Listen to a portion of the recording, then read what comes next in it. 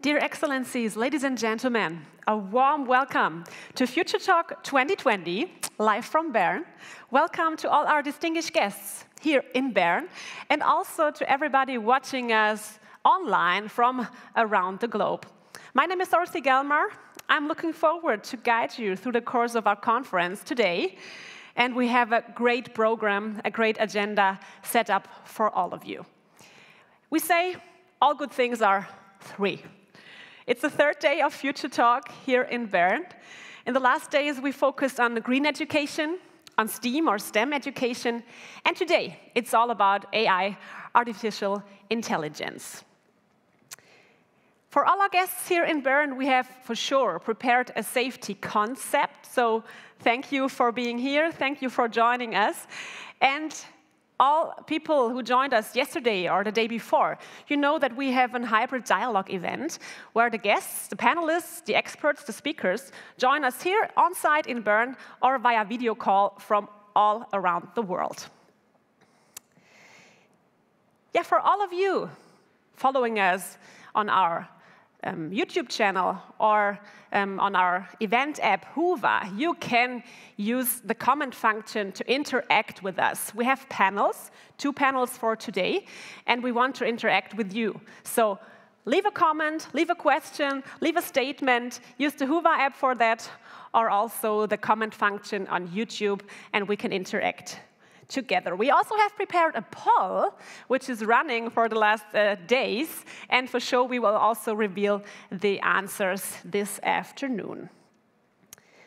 You can download the app during a link on our futuretalk.org website. But now let's start the afternoon with the welcoming words on behalf of World Didac, the president of World Didac, who will join us live from Indonesia. We say hi to Steve McKee.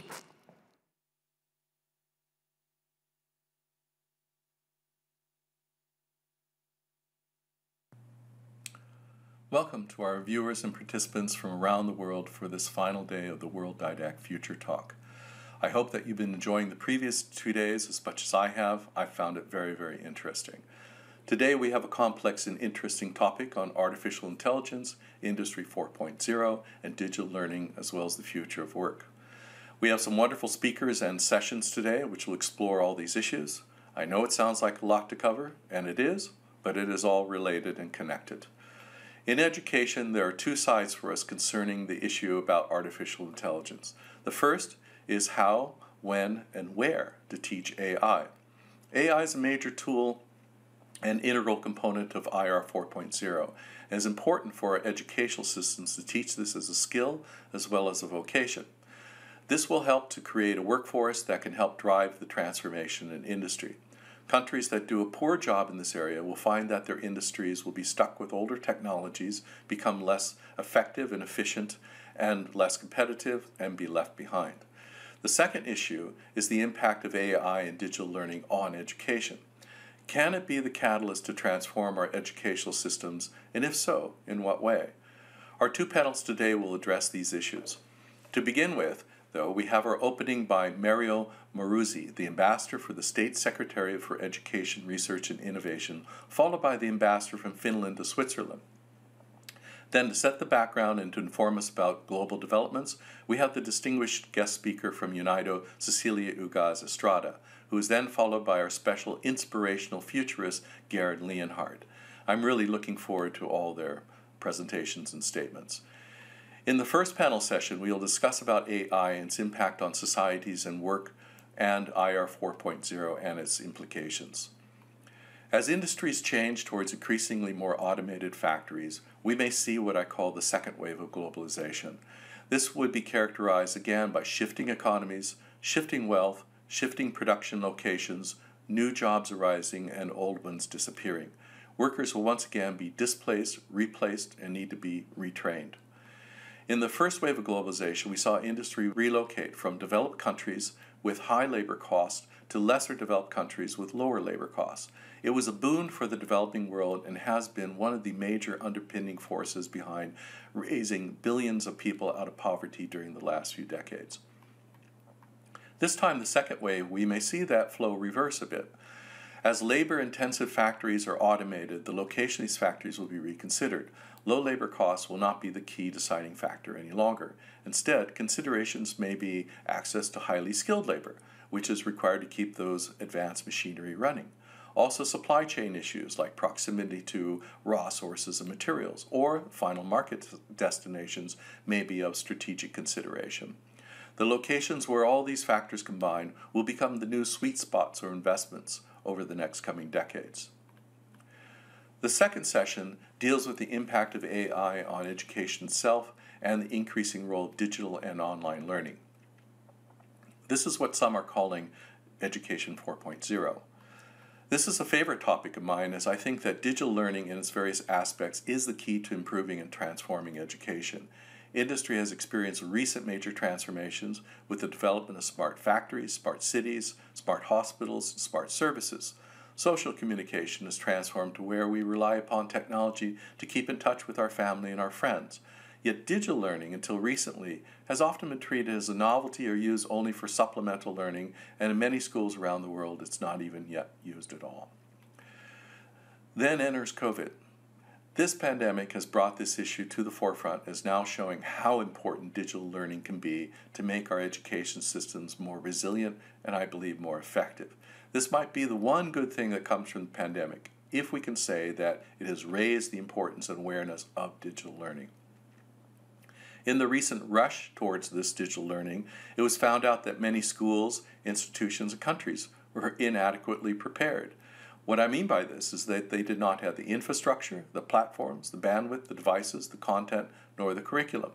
We also found out painfully that many of our teachers and administrators did not have the knowledge or the skills to implement such systems. This is what we have to correct. We need to have a more methodical and more holistic way of implementing digital learning one that addresses all aspects and includes continuous support and training for teachers and updating both pre service and in service uh, teachers and training programs. Perhaps now is the time for smart education. As we implement the digital learning environment, we can look forward to using AI as part of our educational resources and toolkit. It can be used to create knowledge banks experts that are similar to what IBM has done with Watson in the medical field. It could be used to assist students on their learning journeys by monitoring how they learn and then offering up materials in a variety of ways that they prefer. It can test to recognize prior knowledge and create faster learning pathways for the student so that he does not have to relearn things he already knows. It can also find out what knowledge or skills the student lacks and continue to work with them until they master it. These techniques and tools may finally enable us to implement differentiated and adaptive learning and move away from linear group learning to multi pathway, nonlinear, individualized learning. AI can help bring personalized learning and assessments, which will not only strengthen competency but speed up the learning process. I'm sure that our futurist Gerd will have some interesting comments for us surrounding these topics. The development of high quality digital learning systems and content can help level the educational playing field globally. It can aid teachers to deliver higher standard learning to rural or disadvantaged areas, which can result in better opportunities for the students. To develop these new systems, content, and tools, it takes investment, and these resources need to be adapted to each country's needs. Digital learning should be prioritized in new educational initiatives and funding. In the TVET area alone, we estimate that for every dollar that's put into digital learning, it will have the same impact as the equivalent of $10 of investment in traditional bricks and mortar development. We can do more, we can reach more, and it can cost less. It is my hope that in the near future we can finally do away with time based and age based learning in favor of personalized learning, learning that occurs when and where you need it, throughout your lifetime I call this just in time learning. This is what the new pedagogy is, and what we educators are calling heutagogy, or Learning 4.0. This is what educational transformation looks like, and is what many of our members at World Didac are doing now to bring new concepts into reality to develop a new generation of tools, contents, and systems for use by the world. Before leaving, I would like to share with you a framework or roadmap for planning of digital learning that we use to divide up activities, investments, and efforts and energy into three areas. We call this the 3I approach infrastructure, infostructure, and infoculture. Infrastructure is well known as the first thing that is normally addressed. It includes hardware such as PCs, laptops, uh, tablets, or smartphones, bandwidth or access to bandwidth, networks, and support. Infostructure includes the platforms like learning management systems, classroom management systems, school management systems, digital content, assessments, and software. The last of the three I's is perhaps the most important and is the one that is often most overlooked. We call it infoculture. This forms the ability to use those other two elements together to conduct digital learning effectively. It is about the infusion of digital learning into the curriculum, upgrading the teacher skills in digital technology and supporting them in the long term. It is about school and learning policies and change management.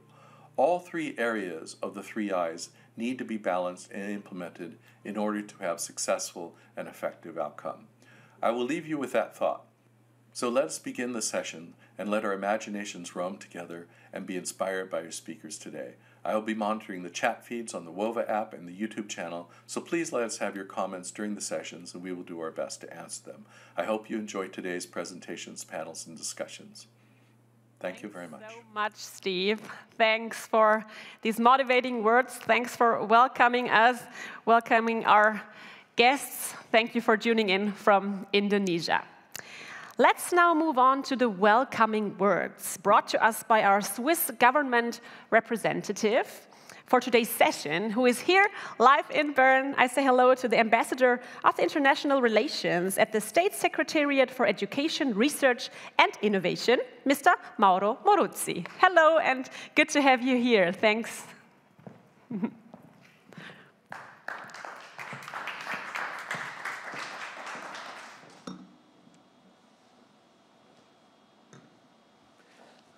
Thanks for the applause so that uh, we can really prove that we are here in person.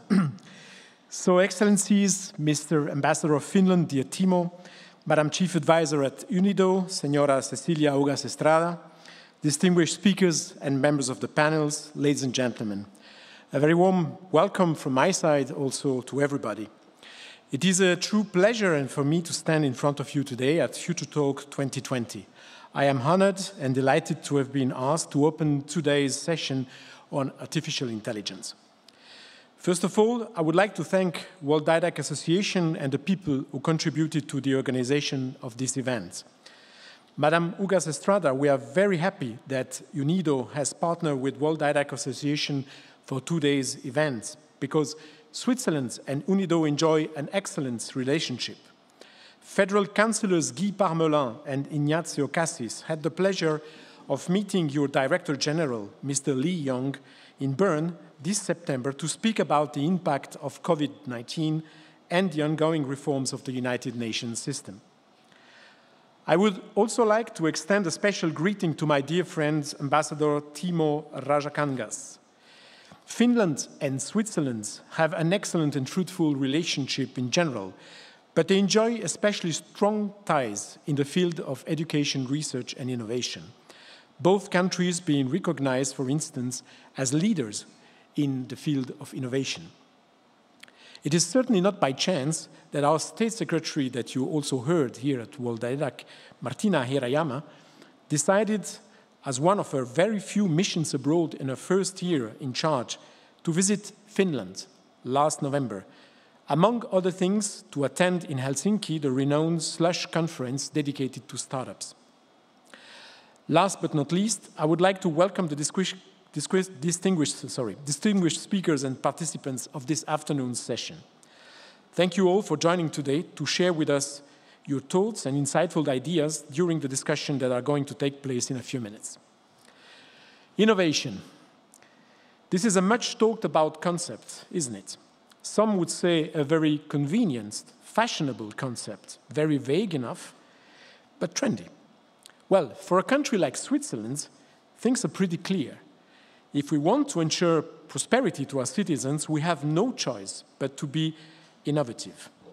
The lack of natural resources, high production costs, and the small size of our internal market force us to always find new ideas, products, and services if we want to remain competitive abroad, create jobs in a country, and ultimately assure the welfare of our society. As Switzerland is regularly ranked as one of the most innovative countries in the world, we are often asked to share the recipe for this success. As a matter of fact, the Swiss way of innovating is indeed a very specific, but actually a very simple one. Our innovation policy is subsidiary, meaning that it relies on the key principle of a bottom up approach based on competition, collaboration, and efficiency. Now, hearing that, you may conclude that the direct role of the government in innovation is minor. Well, you are perfectly right. When I speak to an international audience, I usually say that the so called secret or recipe is so obvious that we don't see it. Switzerland, its government, the state, does not and should not promote or enforce a specific, proactive, top down designed innovation policy. This because innovation stems first and foremost from the private sector and from individuals motivated to freely test their ideas on real ground. In Switzerland, two out of three Swiss francs invested in research and innovation originate from private sources. Now, to be completely frank, the federal government does have a role in innovation, and even a crucial one. But it is an indirect role. The state authorities need to guarantee appropriate framework conditions for innovative entrepreneurs to succeed excellent infrastructures, including digital ones, a trustworthy and stable legal framework, including reliable political institutions, are just a few of these fundamental framework con conditions.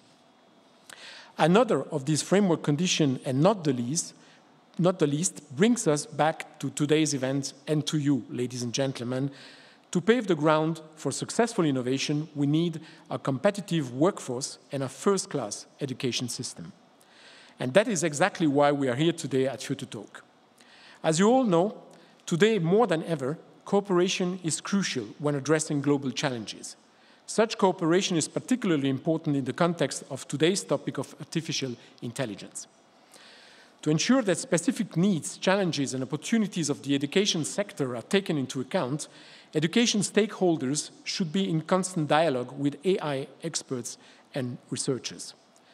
Digitalization, the Industry 4.0, and the Internet of Things are some of the major transformations that our economies, our education systems, and society as a whole will have to address. The size and the pace of transformation and its disruptive potential are substantial, and are already having a major, major impact on individuals, business, and society. It is a chance, but also a challenge, and we therefore need to stay at the forefront of these developments. AI brings with it an enormous opportunities for improving teaching and learning processes. So far, AI is still relatively uncommon in educational practice, but this can change very quickly. It creates additional possibilities, for instance, through the automatic evaluation of tests or learning analytics that allow for a more individualized learning experience. The spread of AI and digitalization more generally has implications for the skills that individuals need to have in order to live and work in a digitized society. The increasing use of data in education also raises ethical issues we need to ask ourselves what the data culture in education should look like. Who should be allowed to collect and process how much data, from whom, for what purposes? Finally, we also need to guarantee that inclusivity is taken into account by AI in education. If we think of SDG 5, gender equity, for instance, it is obvious that equal opportunities and the inclusion of women and girls in the research, production, and application of AI must be assured. An interesting example in this context is the workshop series Towards an Inclusive Future in AI, which was run by the swissnex Network, foraus, and AI Commons last years. The proposal resulting from those workshops highlighted the key roles that education plays in ensuring an inclusive future in AI. We need to equip individuals with the knowledge and skills they need in order for them to be able to participate in an AI-based economy and society. By bringing together many of the global stakeholders in education, Future Talks give us an excellent opportunity to join forces and further explore these topics to exchange, discuss, and find innovative and sustainable solutions in support of the decade of action towards the Sustainable Development Goals and the Agenda 2030. I wish us all an inspiring afternoon with many interesting contacts and new ideas, and I thank you very much for your attention. Thank you. Thanks so much for these welcoming words, Mr. Moruzzi. Thank you for being here in Bern.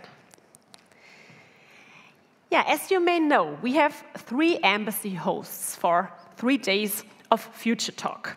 We had Canada on the first day, we had Korea on the second day, and today our embassy host is Finland. And I'm honored to welcome the embassy host, the ambassador of Finland in Switzerland, Timo Rajakangas, joining us via video call. Dear Future Talk participants, ladies and gentlemen, two years ago, my country had the honor to be invited as the special guest country to the World DIDAC Education Exhibition and Conference held here in Bern. And then our focus was on lifelong learning. I am happy to see that the good collaboration started then between Finland and the World DIDAC continues this year within the framework of the Future Talk event created by World DIDAC. It is indeed with great pleasure and excitement that the Embassy of Finland is hosting the third day of the Future Talk today, with the focus on artificial intelligence. For the Finnish embassy in Switzerland, AI is a natural and very appropriate topic, as both Finland and Switzerland are world leaders in the field of AI. Our two countries are natural and close partners, and in the field of AI, we will surely find avenues for even further fruitful cooperation. Dear participants, what is sure about the future in the short as well as in the long run is that we face great challenges. And uncertainty is probably the best word to describe what is to come. A pandemic is raging across the globe. The world economy is on its knees, and the climate change overshadows our whole existence. However, how gloomy as our future may seem, we have all the reason to believe that as before, at troubled times, the challenges will be overcome. And in that equation, the incredible strides, strides of the past decades in technology, such as the gigantic leaps in AI, will play a decisive role. Once again, the challenges will call us to excel as problem solvers and the key to success is the same as it was yesterday, as it is today, and it will be in the future education. During her whole existence as a nation, Finland has put a great emphasis on education. It has been the natural choice for a small nation that just over 100 years ago gained her independence as a primarily agrarian country with hardly any natural resources. Early on, it was realized that the people are our most valuable asset, and our only chance to succeed was to invest in them. Our education system was built on the principle of providing for a solid basic education for every child, regardless of economic background, or place of birth. Over the years, we have been able to realize a remarkable return on our investment in people, as, for example, proven by the remarkable scores of Finnish school children in the well-known PISA studies. The most recent proof of the success of our education system was the score given to Finland last week in the Economist's Worldwide Education for the Future Index. Finland ranked as number one. This index measures how well countries prepare their youth for the challenges of the future at work and in life in terms of digital skills, creativity, communication, social skills, and critical thinking. I was also glad to notice that Finland finished at the top for the income adjusted ranking, which shows that providing youth with the best education is not just about resources, but about dedication, the right approach, and vision. Ladies and gentlemen, Finland is known not only for its success in education, but also as a country of high technology and innovation.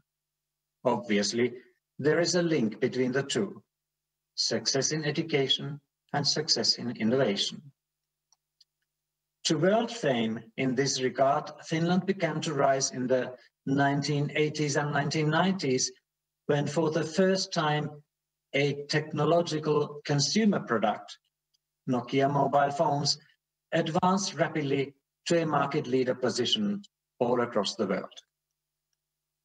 Nokia's success brought with it, of course, immediate economic benefits to Finland, but perhaps even more important for the longer term was that Nokia served as a kind of a training platform or, if you like, breeding ground for IT specialists.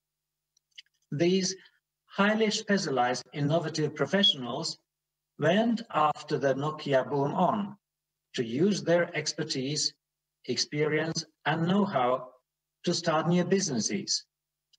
And so one of the most flourishing startup scenes in Europe emerged in Finland at the beginning of the new millennium. The Finnish universities quickly realized that they could support such a development by offering startup programs for their students. And today, there is no lack of such opportunities in the Finnish education institutes. One of the most successful startup companies that grew out of these support programs originated from the Aalto University. It is Slush, a student-driven company that excels in bringing together startups and investors from all over the world to a leading startup conference that takes place in Helsinki every November. Slush has grown from a 300 person assembly in 2008 to a community of a truly global magnitude with more than 20,000 visitors at each annual gathering. The mission of Slush is to create and help the next generation of groundbreaking entrepreneurs. The success of Slush has been recognized also here in Switzerland. I am very happy that the Swiss State Secretariat for Education, Research and Innovation is today an active partner of Slush, supporting dozens of Swiss startups in participating at Slush and thereby having become part of this worldwide startup ecosystem. Dear participants, let me come back to what World DIDAC is all about, education. For Future Talk, perhaps the most relevant and interesting startup ecosystem that has grown rapidly in Finland in the, land, in the last 10 years or so is the digital edtech platform ecosystem. It is a program aiming at supporting the renewal of the Finnish top-level education system by benefiting from the innovation capacity of education and technology companies, which in turn creates new business opportunities for the companies concerned. If there is one thing that the corona crisis has clearly brought about in the field of education, it is the realization that the digital disruption has started. The experiences made during the crisis have certainly prepared the ground for the digital transition in education.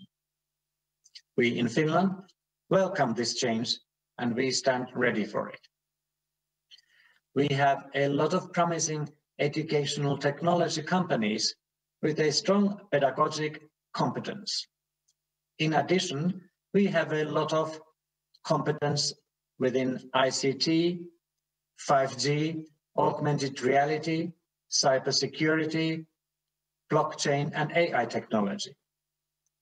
We have world-class teachers and a world-class administration who wish to further the digi digitalization. We have already invested in building platform solutions, learning analytics and ecosystems, such as the digital edtech platform ecosystem.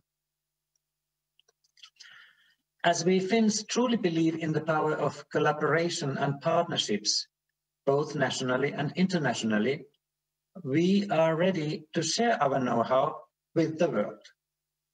A good example of our preparedness to share and partner has to do with the topic of today, AI. Adhering to the Finnish inclusive education approach, the University of Helsinki, in cooperation with a Finnish IT company Reaktor, has made a couple of years ago the online course Elements of AI available for everyone free of charge. Last year, during Finland's EU presidency, we made the course available for all Europeans by translating it into all EU languages. As AI influences the lives of us all, we firmly believe that the knowledge of this technology should be available for everyone for the sake of democracy. The first course has already been a great success with over 500,000 at attendees. And we hope that the new course, Building AI, launched just last month, will inspire many more. Also you, all of you, can find both courses on the website elementsofai.com. Dear Future Talk participants, in my welcoming remarks, I have tried to highlight the Finnish approach to education, its relation to our capability to tackle the challenges of today and the future, and its relation to innovation and successful startup ecosystems, some of which then again play a key role in preparing our education systems to continue to be relevant in the age of digitalization and artificial intelligence. Once again, we wish to share these experiences of ours with the world community. And I find Future Talk to be an ideal platform in this regard, allowing for interaction between all parties committed to preparing the young generation for the challenges of the new normal in the 21st century. I wish you all a successful, interesting, inspiring afternoon with Future Talk, a talk that is bound to continue in the future. Ms. Uh, Rajakangas, thank you very much. Yeah. for your encouraging words. Thanks for being part of Future Talk today. And thank you to you and your colleagues uh, for being our embassy host at Future Talk 2020. Now I'd like to go on with our keynote for today. I'm happy to introduce our partner from UNIDO, the UN Industrial Development Organization. I'm happy to welcome the Chief Advisor of UNIDO, Mrs. Cecilia Ugaz Estrada, who is joining us via video call. Ladies and gentlemen, warm greetings from the headquarters of the United Nations Industrial Development Organization. In a time where the COVID 19 pandemic has made us question many of our practices, the present session is an excellent opportunity to reflect widely on how we can capitalize on the post-pandemic era and to speed up the digital transformation in an inclusive manner to build more resilient societies. As we face the fourth industrial revolution, we are not only confronted by immediate impacts of the COVID-19 pandemic, but also what UN Secretary General Guterres has called the most important systemic threat in relation to the global economy, the climate crisis. First, it is important to harness the enormous potential of the fourth industrial revolution for climate-friendly technologies. The emergence of electric vehicles, digital communications, and 3D printing can significantly reduce environmental footprint. On the other hand, the circular economy model, which is both restorative and regenerative by design, promotes greener industries through efficient use of materials, along with the reduction and elimination of waste. The fourth industrial revolution could enable the circular economy, which in turn could foster new business models that protect the Earth's finite resources and provide innovative solutions for the climate crisis we are facing. We know from ample research that climate change and environmental degradation disproportionately affect the most vulnerable and disadvantaged. While technological innovations in sectors such as health and banking can have far-reaching benefits for equality, many low-skill and routine jobs in manufacturing are at risk of automation, or rather, they will require a new skill set. This bears the risk of job polarization with enhanced wage inequality as a result. If nothing changes, women are especially likely to fall behind. They are disproportionately represented in the middle to low skill jobs and are expected to benefit less from the new jobs of a, of a post fourth industrial revolution world. The World Economic Forum estimates that at current levels of gender equality, men will gain one new job for every three jobs lost due to the fourth industrial revolution, while women will only gain one new job for five jobs lost. In the areas that provide the highest on average wages, namely science, technology, engineering, and mathematics, STEM, the disparity is even higher, with one new STEM job created for four jobs lost for men compared to 20 jobs lost for women. This is not only this not only exacerbates economic inequality between genders, but may also affect the productivity of the sector. Numerous studies show that companies with a diverse workforce and management perform better. So, how can we ensure that the education sector responds to the needs of the workforce of tomorrow? First, a good basic education remains paramount we need to continue our efforts to ensure that no one is left behind in the formal education system, be it due to the gender, disability, ethnic origins, or poor infrastructure. Digital skills conveyed by well-trained teachers and with adequate ICT infrastructure for practical learning should be part of every curriculum. Second, it is important to provide lifelong learning opportunities and target technical and vocational training for those whose work is most vulnerable to the changes brought about by the fourth industrial revolution technologies. For example, in Uruguay, UNIDO, in collaboration with Festo Didactic, supported the government in the establishment of the Center of Industry Automation and Mechatronics, CAIME, Targeting both workers and university students, the center offers training in automation technologies to help local industries with technical knowledge, best practices, and quality management. And third, collaboration and partnerships between the public and the private sector, academia, and civil society are key.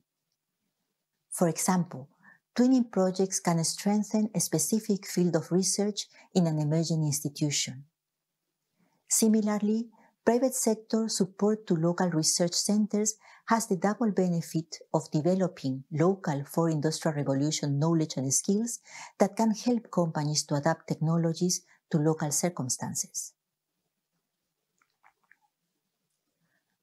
As countries start planning for post-pandemic economic recovery, let's ensure that education and training meet the challenges of the fourth industrial revolution era, that workers can upgrade their skills to take on new responsibilities, and that women, vulnerable groups, and the global south are not left behind.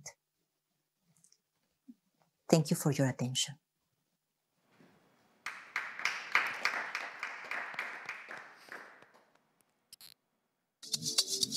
UNIDO, the United Nations Industrial Development Organization, helps countries to benefit from frontier technologies. Industry 4.0 promises improved methods of production and business models through new technologies, including automation, augmented reality, and the Internet of Things. This accelerates the deployment of renewable energy in manufacturing, reduces carbon emissions, optimizes energy use, saves costs, and enhances productivity to address major global challenges such as climate change and energy access. But how to achieve this? Taking into account the challenges and opportunities of Industry 4.0, UNIDO addresses several points, including the policy level. Advisory services are based on empirical research and shared with UNIDO member states to make informed decisions as to which industrial policies to pursue. A conversation on a new global vision for inclusive and sustainable industrial development, ISID, and the achievement of the 2030 Agenda is started. UNIDO works with research institutions, UN agencies, as well as with the public and the private sector, and places specific emphasis on technology promotion and diffusion in this emerging industrial sector. This is done by generating data and statistics, facilitating platforms and partnerships for future collaborations, assisting countries in the development of investment priorities, technology transfer, capacity building, and partnership arrangements, addressing the skills and innovation gaps, and developing an integrated entrepreneurship and employment program for women and youth. By reaping the benefits of Industry 4.0, we're not only mainstreaming our industry innovation systems, we are reshaping our future.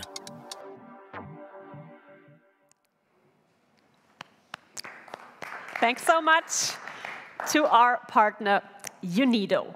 Ladies and gentlemen, by the way, if you want to get more information about our speakers, about our panelists, about our experts, you can find all biographies of our panelists and so on on our website, futuretalk.org. And if you want to share your thoughts, your experiences, for sure, we have a hashtag.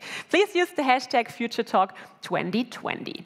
And now, let's have a look into the future all together with our futurist, which also joined us the last days. It, his name is Gerd Leonhard, and for sure, today he will focus on AI, artificial intelligence, and digitalization. And here he is, Mr. Gerd Leonhard. Hi, I'm Gerd Leonhard again. Thanks for tuning in for the third time at Future Talk in Bern. And this will be my third round to speak about artificial intelligence and uh, the future and what that means for education and work. So thanks very much, and we hope to distribute the video also to, to all of you uh, and as a, as a giveaway, so you can watch it again if you wish. So let's define artificial intelligence again. Uh, it's a great definition I have here from Demis Hassabis, the CEO of DeepMind in London, now owned by Google, that says artificial intelligence really is computer system that turn information and data into knowledge, leading us to what he calls, what many people call the cognitive systems era. Imagine a machine that can turn things into knowledge. Isn't that what makes us human, knowledge? Well, turns out that's not the only thing that makes us human. Because knowledge is all different kinds of knowledge, and I'll talk about that shortly. But what kind of knowledge do machines have? Well, binary knowledge, you know, calculating knowledge, logical knowledge. Will that eventually change? Probably. But for the time being, that's what machines do. Right? We are not binary. Uh, we're not data. We're not machines, and machines are binary, right? And so the questions that come up when you think about knowledge and education and training. What about tacit knowledge, the stuff that we know uh, that we don't talk about? That's not explicit. Right? Implicit knowledge, stuff between the lines. Embodied knowledge, things that is like embodied intelligence and social intelligence. Unknown knowledge. Right? Marvin Minsky has, Minsky has a great quote on this, which I'll share with you later. And imaginative knowledge, the knowledge of being able to imagine something that is not real. Right? I mean, that's not yet real. Foresight, right? And, and understanding. And this is basically what we do as humans. Right? Looking at this chart, it shows what people around the world are thinking and the likelihood of uh, 50 years of robots and computers replacing the work done by humans. In Greece, the highest probability that people think probably and definitely it's a huge chunk, almost 80%, right? Japan, Canada, and here we are, the uh, United States has the lowest, the most optimistic outlook on this. But clearly, that's a worry. You know, machines are going to take over. They're going to do what we used to do. What do we actually do with them? Are we all going to lose our work? Well, unlikely, right? And that is because really what's happening is that a machine is very good at anything that's really hard for us including lots of information and, and, looking at a trillion data feeds. That's not what we do. And uh, Luciano Floridi, who is a great researcher in this turf, uh, he um, showed me a quote about uh, maybe three or four years ago saying that algorithms outperform humans when it's not about understanding emotional states, intentions, interpretations, deep semantic skills, consciousness, self awareness. In other words, the things that make us human. That's what makes us cognitive, conscious, and what makes us exist. That's what machines don't do. And I think ultimately this is really what we have to focus on because machines will be able to do pretty much anything else. Uh, basically, routine work is going to be given to the machines. And this uh, slide is uh, three years old. I'm showing to you by purpose because it's non-routine cognitive work already increasing on this uh, slide, and and that includes the non-routine manual work. But anything that's routine is already decreasing, right? And quite clearly, when we're looking at this, you know, what humans do is exactly the opposite. We do the non-routine stuff, you know, curiosity, foresight, purpose, critical thinking. Try to find a computer with purpose. Good luck. I mean, a computer could always pretend to have purpose, like like they do already. Right? And again, an old slide from the World Economic Forum talking about the new skills. And here we are in 2020, and they are here, right? It's all about critical thinking, creativity, emotional intelligence, cognitive flexibility. It's not so much about the logic only and the, the, the, the firepower of the brain. Right? It's about the imaginative power of the brain. And that's true, I think, no matter what position you're in, whether you're talking about kindergarten or schools or colleges or, or training and learning and development at companies, this is going to be our future quite clearly because machines are learning this, right? They're learning all of the routines. And yes, these are routines that can be learned. Uh, well, they, they are complicated to be sure, but machines are learning them. And Amazon is automating everything in their warehouses. And that means computers can eventually drive.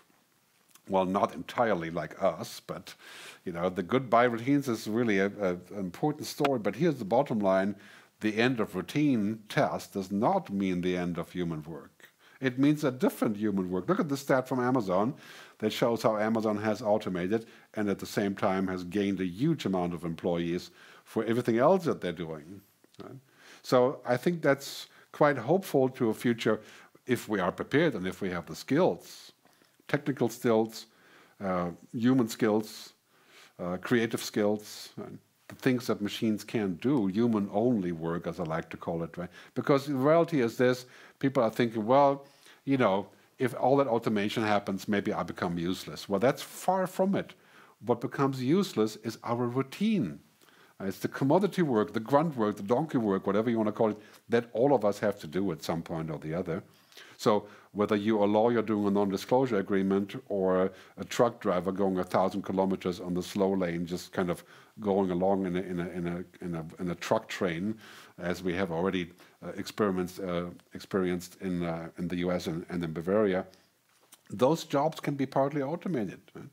Anything that can be automated will be. That's, that's the rule of digital Darwinism. But the reverse is also true.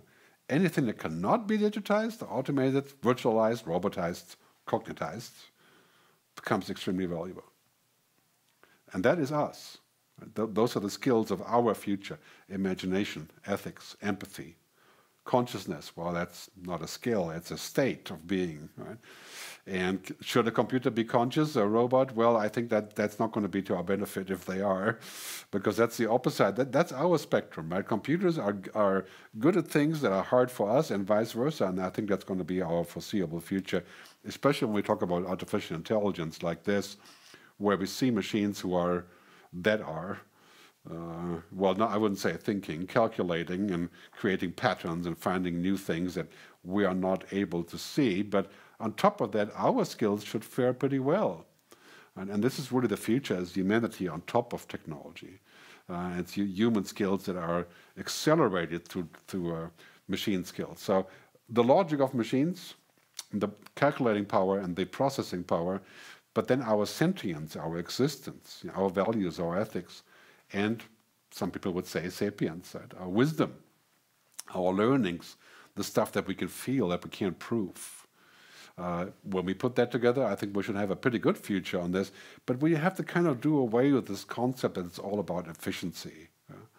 And this has been the industrial era obsession with uh, profit margin optimization. That's over now because of COVID, right? Now we're saying, well, it's not going to be about efficiency anymore, that much anymore. It's going to be about resilience and adaptation and, and agility and reinventing and pivoting. Clearly, we should let go of this concept of uh, you know, being the maximum efficient that we can be. And yeah, that's not a human concept. You know, this is really a, quite a different story. So when Buckminster Fuller again says, mistakes are great, the more I make, the smarter I get. That is not something that a computer would agree with. And this is really a guiding principle for education. Right? Let's make mistakes. Let's figure out stuff. Let's experiment. Let's not make a de-genius process, you know, pulling the genius out of people when they go to school or when they take our learning and development courses, right? Removing the genius to download more information, that's a very bad idea. So this future is quite clearly unfolding in front of us. And as we go into this direction, we're seeing, well, you know, a computer could be extremely smart, but uh, data information is not knowledge. It's just data. It's not understanding.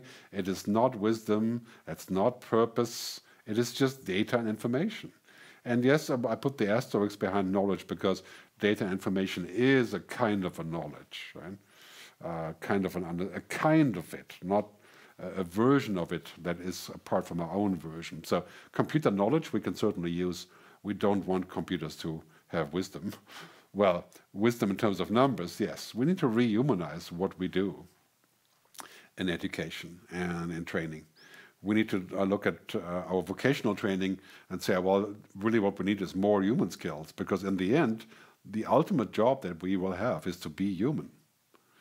And maybe it will not be useful for work as we know it today, because in 20 years it could well be that we will only have to work in the current sense for two hours a day because the machines do everything else and get paid the same, right? So rehumanizing education, to, in my view, is crucial.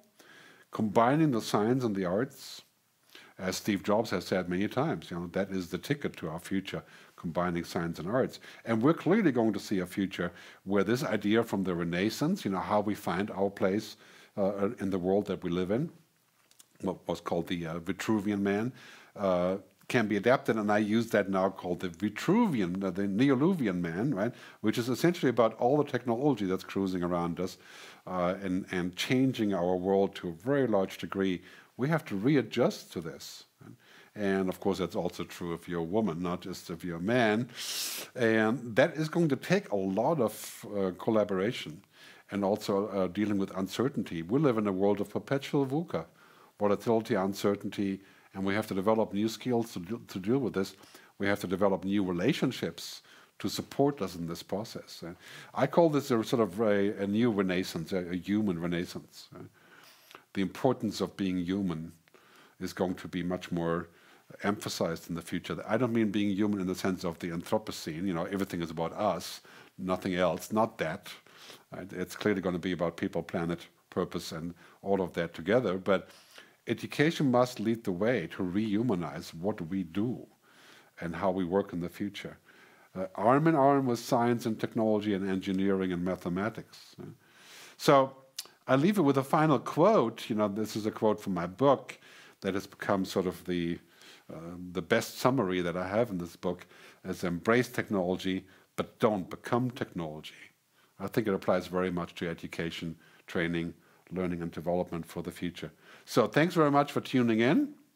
It's been a great pleasure uh, to speak to you and hopefully with you. And I hope you enjoyed my contributions and have a good rest of the conference. And thanks very much. See you down the road.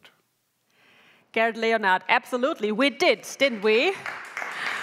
What a great presentation. Thanks for the food for thoughts. And what a great presentation in the back. I love it. I have to watch this video twice, for sure. Let's now go on with our daily private sector talk. We would now like to know more about Industry 4.0 and how we organize Education 4.0 for the era of digitalization. And I'm very happy to welcome our guest from Festo, a global industry player for automation technology and for technical education. I'm happy to welcome Hans-Jörg Stotz, member of the board of Festo Didactics, joining us from the beautiful city of Esslingen in Germany. Hello, Mr. Stotz. Hello. There he is. Hello. Hello. I take a seat because I have so many things that I'd like to discuss with you. The first question, Mr. Stotz, what is the status quo like? Where are we standing concerning Industry 4.0 in your point of view?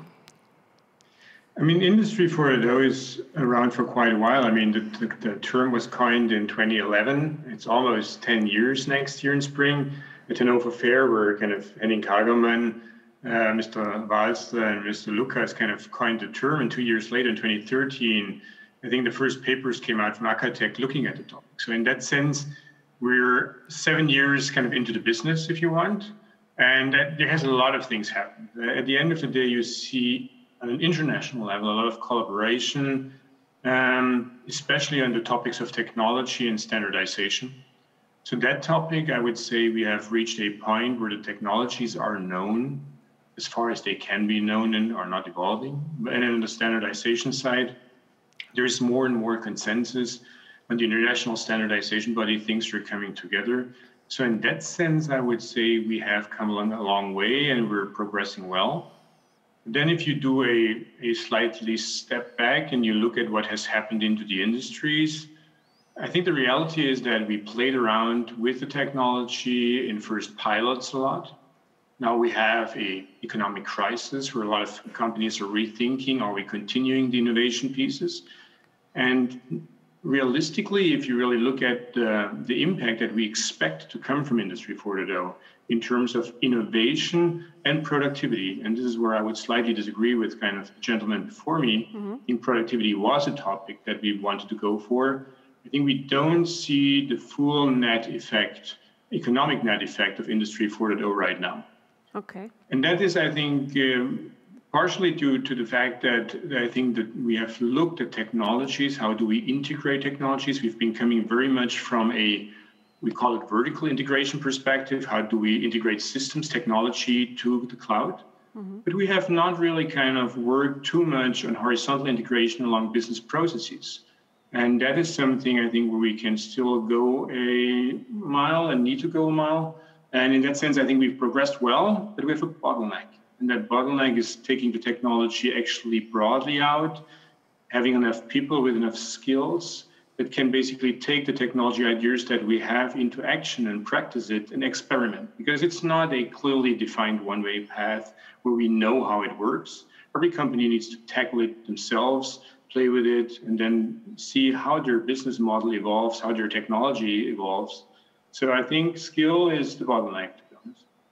Let's stay at skills. You mentioned it before. Uh, what skills are we talking about in the context of digitalization of Industry 4.0?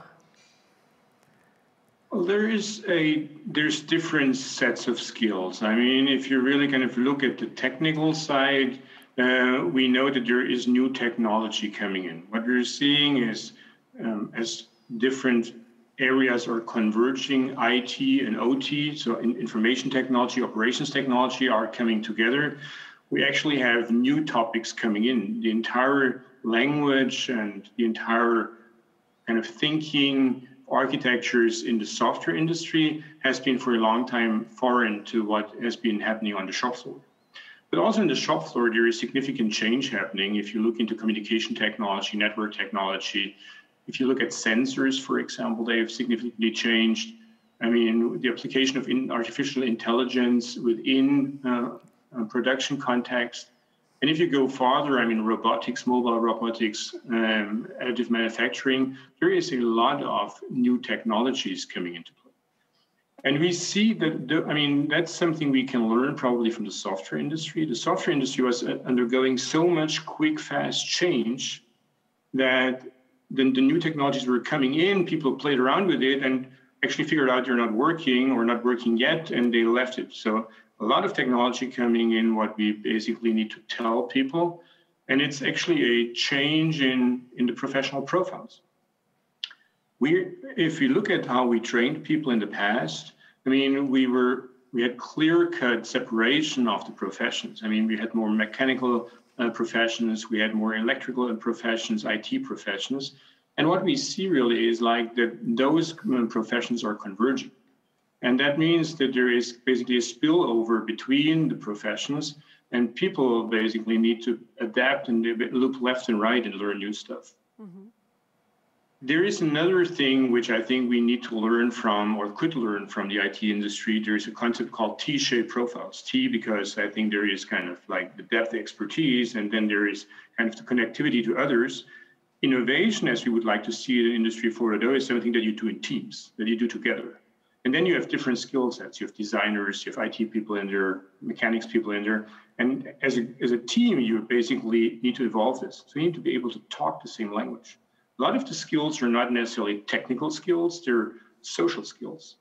Understanding, listening, having the same opinion, actually making mistakes. It's hard for engineers to make mistakes. You're not actually learning to make mistakes. Mm. It's, it's, actually good if you don't make mistakes. So, how do you get into an innovation culture that quickly iterates, explores something which is not really ready, and throws it away? And that is new. And in that sense, I think we just don't only need the technical skills, mastering the new technologies. More important thing even is how do we work together? How do we innovate methodologies like Scrum or out there, agile development methodologies, design thinking as a way to be more customer or user centric are things that are coming big time. Mr. Stotz, from your point of view, um, how shall we address the skill gap that exists without a doubt? I mean, the, the, if, you, if you really look out there and you want to get the skill onto the shop floor, into the factory, into engineering to make the difference and, and get the benefits from Industry 4.0, you need to train a lot of people. So what we are doing right now is we have changed predominantly in the dual education system in Germany, but more in the in the formal education system for first-time education. We have started to adapt um, the content that we train there. I can talk for Germany as an example, but a lot of the stuff that happened in Germany is going to be shared with the rest of the world and the community. There is the, the, the, the adaptation of the job profiles, the curricula. Mm-hmm. And that is there for first time education. But now, if you look at that, the numbers of people that we hire as trainees, apprentices, is actually going down in the crisis if there is a shift away from mechanics, mechatronics to electronics and IT technologies, we will have a scarcity in those jobs that bring the latest technology to the shop floor. So the, the tricky thing is really that everything that we have in those new curricula needs to be taken over to people on the shop floor, people who have been trained like five, ten years ago. And this is, I think, where we need to look and see how can we take the learnings from kind of vocational education, vocational training, and basically take them over and take them over into continuing education. Mm-hmm. The separation of continuing education, first time education, from, from our perspective at Festo Didactic, I think is outdated. The, the investments that have been made significantly into the training of first time education need to be leveraged for continuing education. And if you look at countries, for example, like the Netherlands, where you see at certain colleges already kind of that professional students, vocational students are being trained together on a project basis, you can sense that I think we need to start rethinking the way how we deploy the resources that we have. Thank you. There was a crack in the line. Can I hear you still? Maybe we can check that. Is it I working? can hear. Perfect. I can perfect. hear you. Perfect. Thank you, Mr. Stotz. Um, you just mentioned the learning from vocational training. Can we dive a bit deeper into this topic? How can that look like? I mean, I think vocational training that, that we do right now is we we have the classical mechatronics, mechanics, electrical engineering profiles, and they have changed. If you look, for example, we have a profile electronic for automation technology. If you look into the internal mechanics of the curriculum, a lot of IT has moved in there. Information about big data, how you use sensor data, how you connect to networks, and there's a lot of good stuff happening there what you need to do is it's not just learning theory. It's not just reading books and text what you need to change there is how can people play around with that technology? So in a non-disruptive way you can't do that on the shop floor. You basically need to have a physical learning environment that helps you to experiment with those new technologies and play with them. But at the same time you provide student a flexible way of consuming the theoretical knowledge. That's what we see right now. Okay Mr. Stotz, maybe a simple, short question, but maybe not so easy uh, to answer. How does learning change in the future? Uh, that, that, I mean, we're discussing it a lot with kind of our own students. So at Festo Didactic, we're also training all the vocational students at Festo as the, the group. Uh, but we're working a lot, of course, with our customers and, and, and discuss with teachers and students. So, I mean, learning as we all learned it, or as we all went through it, was a very teacher oriented exercise. Mm-hmm. I mean, there was someone who was the authority and told us what to do and basically graded us and told us good guy, bad guy, performed well or not. Mm-hmm. Now, if, if, if the subject itself becomes a little bit more uncertain, and if you kind of have so much distraction for the younger generation out there to do interesting stuff somewhere else, you need to make learning interesting if you if you listen carefully to the World Economic Forum, for example, and there are discussions about the skill gap, how hard it is for manufacturing companies to attract people to be interesting to the young generation, mm-hmm. you need to create excitement. You need to make it fun. You need to you need to be meaningful for people to explore, and that changes that relationship between the learner and the teacher. Mm-hmm. The teacher becomes more a coach. He's helping people where to go and how to learn because he cannot always be the expert. Stuff is changing so quickly, and sometimes the students knows more. That needs to redefine kind of the relationship. And the other thing is the classical classroom training where you sit there and you know you have like in the next four weeks you're learning X, and then week for week, hour for hour. When we talk to students, they want to be more independent, autonomous. They want to decide when they learn, where they learn, how they learn you want to use mobile learning. And in times of COVID, I mean, for them, this is this is where they are, and they they, they said it already a year ago. we want try. to be more flexible. Yes, uh-huh. they want to at, at, home in bed. That's where they want to learn mm. using their mobile phone. Really, while they game, and it's a, it's a different way. But when you learn technology, you need a physical system. So yeah. we need to combine going to the physical system, exploring that with digital experiences. And that's, I think, where learning goes. And that's even more important if we look at continuing education. I think continuing education, you and I as professionals, everybody in the audience, if they think how they learn, they don't learn by being sent to a class for a week and then come back. I mean, we all know it's the travel cost, and we're trying to save on travel costs. People are away, you can reach them, you don't have a substitute. That's not how we train people. We train people by giving them the, the possibility within the context of their work to explore, to test new things, and and yeah, apply it and dismiss it at the same time. So we need those digital elements that we were talking about, how the kids would like to learn, actually are true the same way for professionals. You want to learn on the sofa or in the on the train back home. Mm. You want to use the time in between, which is idle time, to learn. Mm. And then you need to go to the equipment in a non-disruptive way where you're not disturbing the business, but where it's very close to the business, where it looks like the same components, the same technologies, but in a risk-free environment. that's how we envision learning to be in the times of digital. And you see a lot of things like gaming, virtual reality, augmented reality starting to evolve where people play with the idea couldn't we learn in a gaming situation?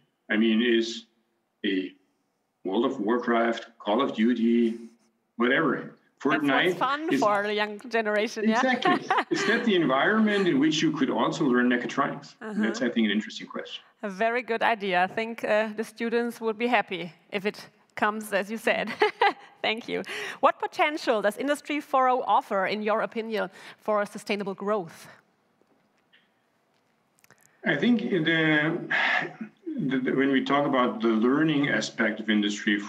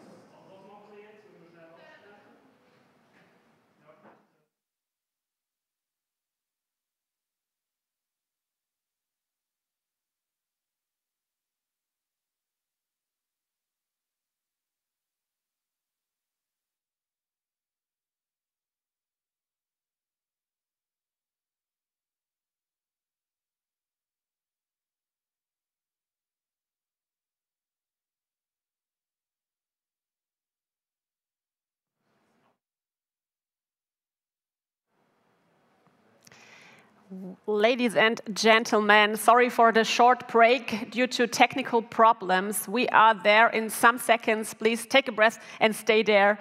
Uh, we go on in some seconds.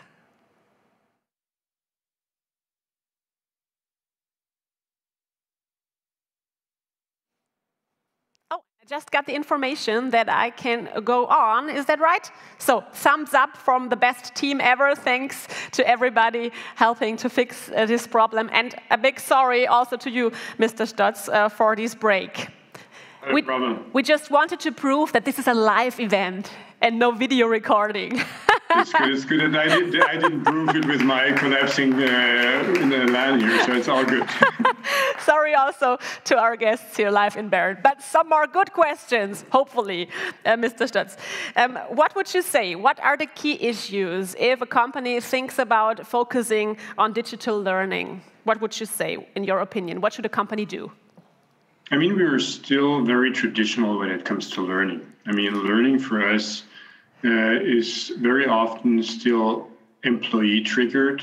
I would like to learn, or in the best case, manager triggered. You should learn, which kind of sounds like a threat. Mm-hmm. Uh, in, in in very few cases, we have a strategic workforce planning where we really do know where we want to go.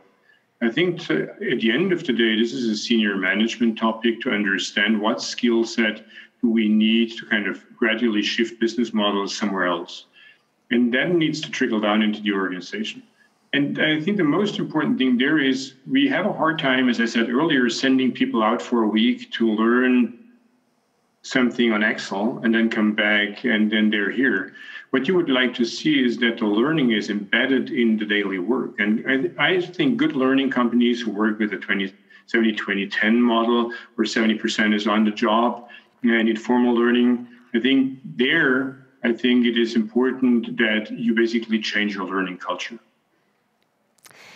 Let's have a look into the future, Mr. Stotz. How does the trend look like? Are there some trends that you can see uh, regarding the Industry 4.0 development? I mean, in, uh, if you're not looking at the technical side, what's going to happen there, but if you're more looking at the learning side of Industry 4.0, I would foresee that we get smaller types of curricula that you can easily recombine and connect. We see that the different countries like North America, Middle America, or China have different expectations, different needs, like in Central Europe, where learning is more form- formalized. So we need to have smaller learning chunks, nuggets as we call them, that you can recombine. The learning itself will change that the, teacher will be more the person who configures individualized learning for people. And people actually by leaving traces on how they learn will get recommendations how to what to learn next and how to learn it. Things like video or gamification will play a bigger role to create a better engagement level. And I, I would say that a lot of the physical equipment we're seeing right now and that you can see in COVID is gradually augmented, not replaced, augmented by virtual training environments where we're looking at things like a digital twin. How would you learn with a digital twin? Combine a digital twin with simulation.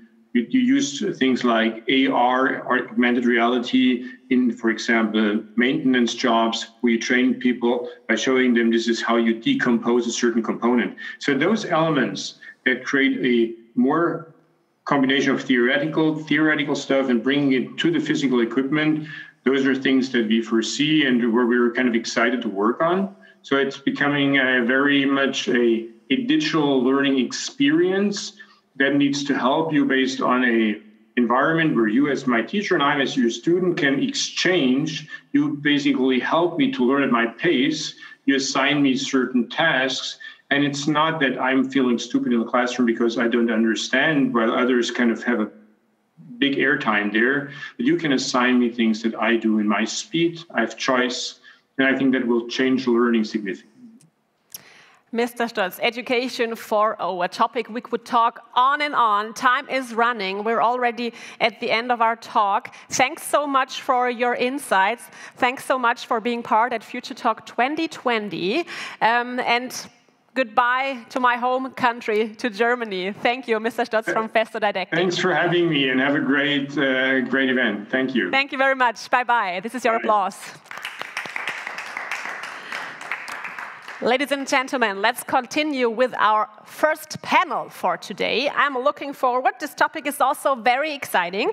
How does digital education and artificial intelligence impact economies? How does it impact societies? And how does it impact our life? And what does Work 4.0 look like during the 2020 years? Wow, I'm happy to introduce our panelists, and one is already there live in Bern. I say hello to Michelle Mitura, Head of HR for headquarters at Schindler Aufzüge AG. Hello, and thank you for being hello, here. Hello, everybody. Thanks for the invitation. And our other panelists are joining us via video call. And here they are. I say hi to Jan Mischke, partner at McKinsey Global Institute, MGI. Thanks for having me. Hello, Mr. Mischke. Also, Sergio Fasce, Head of Education at Nokia Corporation. Hello, nice to meet you. And Marc Vontobel, founder and CEO at Starmind. Hello, gentlemen. Hello, thanks for having me.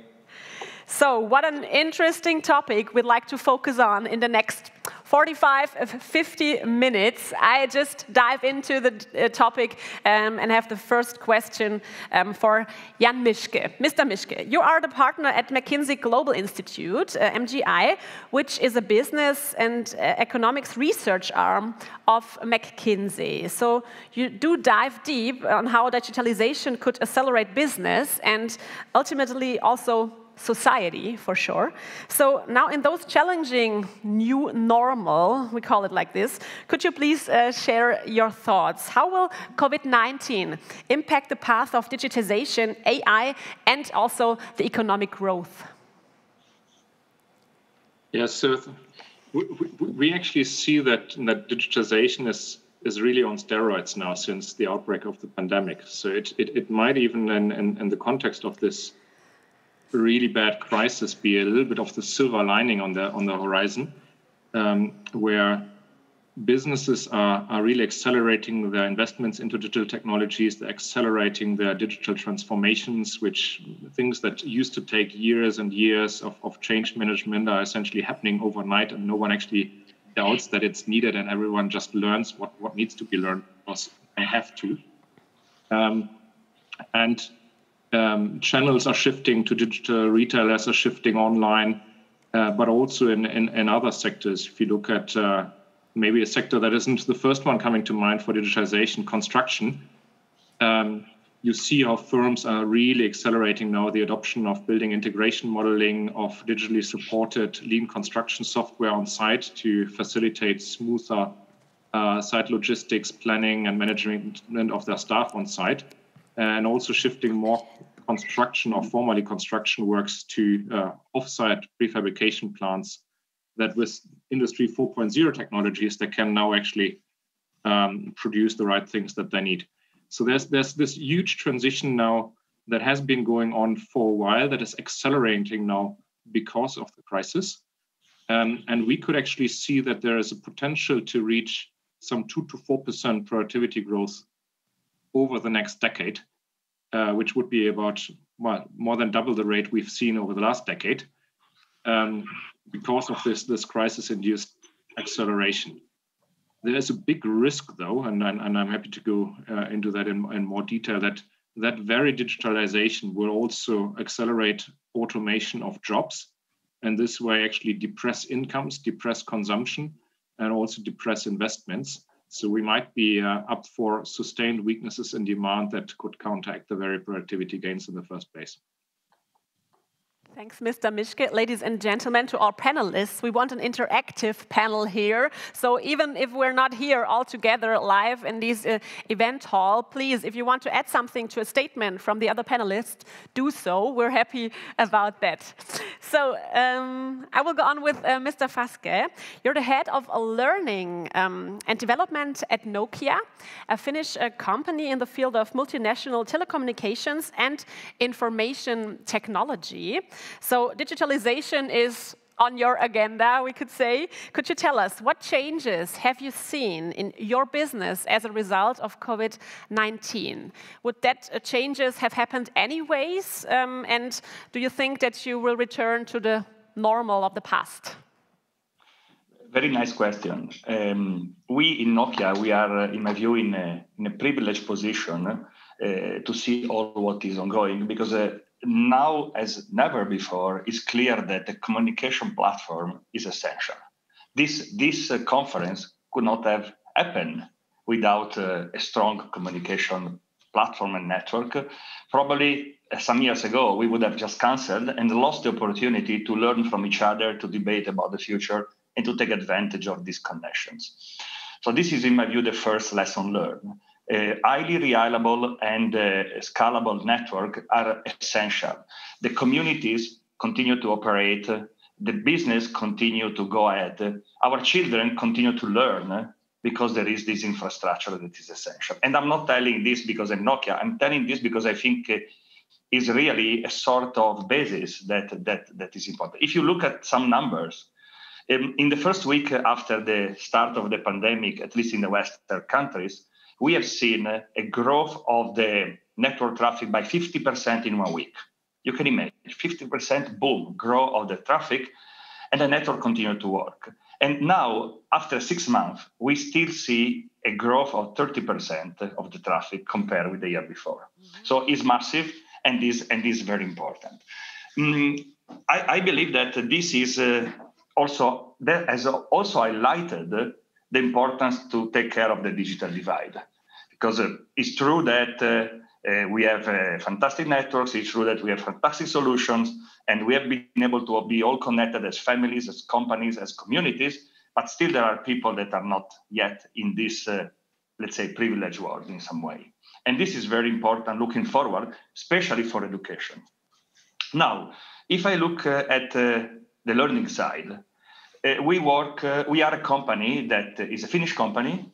And so we have embedded in our culture the culture of learning, the, the, the clear picture that knowledge of our people, skills of our people is the real key success factor. The, Mr. Ambassador said clearly before, Finland is a small company, but has been able to be successful because of this great connection between education, technology, and innovation. And, uh, and what we have seen is uh, a, a shift towards digital learning. Uh, we were delivering our uh, um, learning solution to our employee and to our customers. Uh, I would say before the COVID, something like 60 uh, percent was uh, virtual, virtual in the sense of virtual instructor led or online. Now is 96 percent. So a fantastic and, and incredible uh, shift. But I don't believe this will be the status quo after the pandemic. I think after the pandemic, we will go more in a, a, a sort of mixed situation. I don't believe too that we will be back as pre-COVID. Mm. I think we will have a good mix between uh, in-person activity because also social relation and and and and, and contact is important, but uh, also uh, a big part will be uh, still digital. And this will open, in my view, great opportunities for all the individuals because I truly believe that uh, the, the, your skill development is your own responsibility as individual, because this makes you important, uh, relevant in the job market, for example. This help uh, your company to succeed on the business, and help your community to be relevant uh, and to be uh, at the front, front edge. So, uh, in short, I think we will not be back as before. We will not be as today. We probably will be in a form that is more blended, mm-hmm. but for sure, digital part will be essential exciting future to come. Thank you very much, Mr. Fasce. Uh, Mrs. Mitura, you're head of HR development from uh, Schindler, I, I Switzerland. Marc, uh, as a comment. Oh, sorry. Sorry, I think Marc was trying to have a comment. he wanted to add yes, something. No, I, I, Ms. Mitura, so sorry. yes, please, Marco, add something. Sure. No worries, no worries. So I fully agree with what, what Sergio said, and I believe the, a, a very important topic is connectivity, but I believe it's also a trap. Uh, I believe in the digital age or in, in, in this digital world, we start being connected 24 7 but we are connected with the same people over and over again so we we we have more channels to use we have zoom we have slack we have teams yeah. and so on but we talk to the same people over and over again. And there is a, a very interesting article uh, from the Harvard Business uh, Review uh, that came out uh, a few weeks ago that uh, the co- uh, like the collaboration within your direct team actually increased by 40%. You have many more interactions with those people you already. Oh, there's something wrong. He just stopped moving and now we can't hear anything. Um, so also we have to fix this. Marc Vontobel, maybe we try to reconnect um, I just have a look what my team says. We go on with the next question and hopefully uh, get Mr. Vontobel back for repeating this answer, for example. Um, so Mrs. Mitura, once more. Uh, you're the head of HR development from um, Schindler Switzerland, a global company for elevators and moving walks. And for sure, all of us have used your elevators and moving walks in the past, your excellent ones. Um, I would like to know, um, Mrs. Mitura, how do you manage the digital transformation we're all in um, at Schindler Group? Uh, we started this journey quite some time ago with modern tools for our employees. It shows in the numbers of a recent survey where 95% said, yes, we can do it. We can work from home immediately, pushed by the COVID situation. Mm -hmm. People were prepared to do that from one day to the other. Um, we also moved so quickly from emails to MS Teams. Mm -hmm. The whole situation pushed us out of our comfort zones. Mm -hmm. Another example are our fitters and service technicians, so the, the guys who actually install the elevators and maintain the elevators. Many, many years ago, they had like big folders carrying around, and since about 10 years, they got smartphones uh, with an app on it called FieldWiki on there, they have all the technical documentation, customer information, internal company infos at their fingertip. So new releases are available immediately to them. In the future, we could go further for digital transformation. So continue to work across organizations, departments, hierarchy levels, we call this collaboration. It's a combination of open collaboration and positive action. Action, uh-huh. So, for example, we started to use more agile methods such as Kanban, Scrum, and one important part of our people strategy in Schindler Switzerland is that we want to elevate culture. Mm -hmm. We want to uh, empower people more, we want to have less hierarchy, um, we want to be more agile. Thank you. Thank you. Mrs. Mitura, for this insight. I have some more questions, but I just heard also that uh, Marc is there. It is working again. I'm back. I actually I'm back.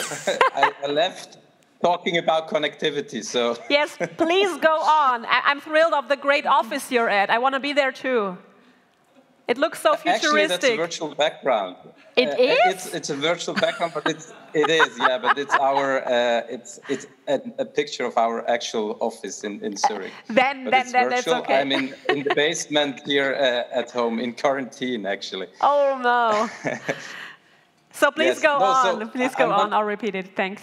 Yes. So so I believe what what what, what this uh, hyper connectivity, this 24/7 being connected to the internet and so on, actually makes with us. It, it makes us believe that we're actually connected, but we're reducing our contacts to those we already know. We don't stumble into people anymore at the, uh, at the coffee machine.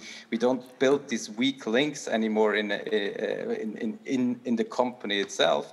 So uh, we, we are more connected uh, like on a technical uh, on a technical level, but we are way less connected on a human level, and that's uh, what what what came to my mind when when when uh, Sergio was talking about connectivity, and I think that's something we really have to be careful about. Mm.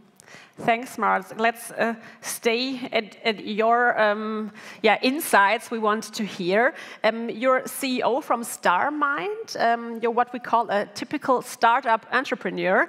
Um, your company develops artificial intelligence platforms with the goal to unlock collective intelligence and enterprise, or even more, uh, to enable organizations for three goals identify experts access to know-how, and solve skill gaps. Um, so can you please explain us what the impact of augmenting is rather than replacing human knowledge? Maybe that now sounds a little bit strange from someone who, who works in artificial intelligence, but I think the most important thing is to, that we have to demystify artificial intelligence because we're so far away from, from building anything that is close to human intelligence uh, that we shouldn't be scared of what's going on there. But as the, the, the speaker before said, computers are especially good in doing routine tasks, in doing analysis, in doing calculation, things that we are not too good at. And I think if you bring both worlds together, you create like a superpower. Uh, and that should be in the end the goal, and that uh, will have a huge impact. Thanks, Marc, for all just uh, seeing that I'm using my iPhone here. I'm not chatting. I want you, ladies and gentlemen, to be interactive with us. So if you want to be part of our panel, please send me your questions during the comment function on YouTube or through our event app Whova. Um, the questions will receive, I will receive your questions here on my um, phone to hand them over to our panelists. So if I can see something, I hand it over to you, uh, ladies and gentlemen. Mr. Mischke. Another question. How could AI and digitalization impact education from your point of view? Yeah, the the, the opportunities are obviously abundant, and I think all of us uh, and everyone who has has young kids uh, and has lived on this planet over the last year or so has ample experiences uh, with digital technologies in education. Um, so I think the, the, the, the impact can be uh, can be huge in terms of new education formats, but also particularly in terms of uh, AI supported educational software, the likes of uh, the tools by Khan Academy or plenty of other software tools that, that essentially assess where, where a kid stands in its development journey and, and then develops the right learning journey ahead, or develops uh, points to the right questions and so on. So I think there can be huge progress um, coming out of this crisis. What I'm a bit surprised by is that when I when I look around, I, I don't see much of that happening. It seems to be more like we have closed the school system, we innovated hugely. Uh, now we have opened it uh, again and threw away all the innovations we had in the meantime. So I'm currently slightly um, frustrated. Okay. Um, Marco, you're just nodding, agreeing on what he said. No, no. If I can comment what what uh, Jan was saying, uh, just to add this, uh, I also think that we see a lot of uh, remote teaching more than really a digital enabled learning. And these are very different things. Uh, uh, uh, this is why, at least I, I, I, talk for my country where I where I live, that is Italy. Um, there was a, good, a, lot of good intent, but I don't believe that many of the teachers are trained. They have the skills to be engaging, to be Uh, uh, really impactful through the digital media. And this is a problem that we need to solve um, uh, in the future. Otherwise, I agree with Jan, we, we tend to come back to the comfort zone. No? We come back to the usual stuff instead to evolve. That, in my view, is, is the future. Sergio, one more question that I'd like to hand over to you. What does the convergence of technology and education mean not only for business, but for entire societies? Um, you know, we, we are, uh, at least from my perspective, we are in the middle of two transformation. No, one was the transformation coming with the introduction of 5G. That uh, uh, is not just more bandwidth than before, so I can download my film faster or play better on on on on on, uh, on a game, but is really to have a, a, an ultra broadband network with very low latency capabilities and super reliable that can enable can enable new things. Uh, today, a lot of what we do online is, let's say, the copy paste of what we were doing before in person. We buy online, but this, but this with this new technology, we really open opportunities that in my view, we cannot even imagine today. And this will be very fast. Mm. So what I want to say is that uh, many people are, they have fear of this transformation. And, and as, as, any transformation will bring uh, new opportunities, many new opportunities, but will bring also some, uh, how to say, um, impact uh, on uh, other jobs. Uh, and for me, it will be key. And, and this push to, to have a more an education that is more easy to have available for many people around the globe, it will have to close the bridge. Because um, we need to realize that the transformation will be faster as never before. Mm. And so this problem and the education is not as faster as the transformation. It takes time uh, to, to be able to help the people to have the right skills, the right competencies, um, to use the artificial intelligence uh, as Marco was saying before, and I agree, we need to demystify artificial intelligence. Probably is the name in some way that is misleading. Mm. Artificial intelligence is an help for us as human beings to perform better and, and, and to avoid the tasks that they are not really good tasks for us. Uh, uh, there is a lot of education that is needed. There is a lot of skills that need to be spread. There is a lot of uh, transformation in the skills of the people that we need to do. We can do, but there, in my view, it will be critical the collaboration between public and private. I'm not talking too much about company like McKinsey, Nokia, and so on. They will invest, uh, or, or Schindler, they will invest, they will have their plan, they will have money to do it. Mm. But if we look a bit more at a social point of view, mm. at the community level point of view, this is something that will need, in my view, a strong, tight collaboration between the two side of the coin, the public and the private, to take advantage of this industry revolution and not to have this as a problem. Thanks, Sergio.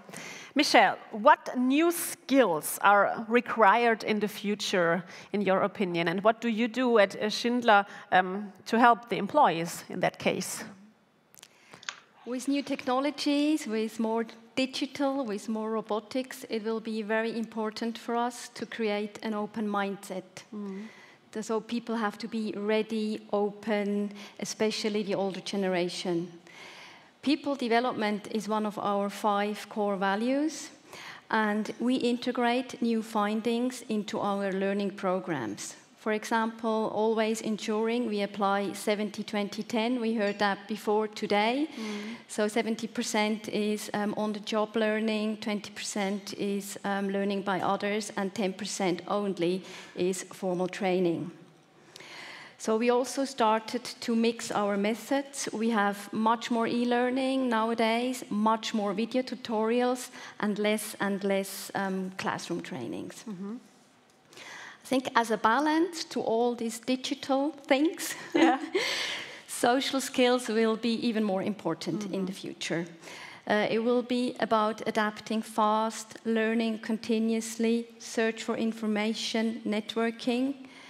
We want to provide platforms for generations to um, exchange, kind of reverse mentoring So the experienced people can teach the younger ones, the young generations, but the young generations will um, mentor the older generation about the digital tools.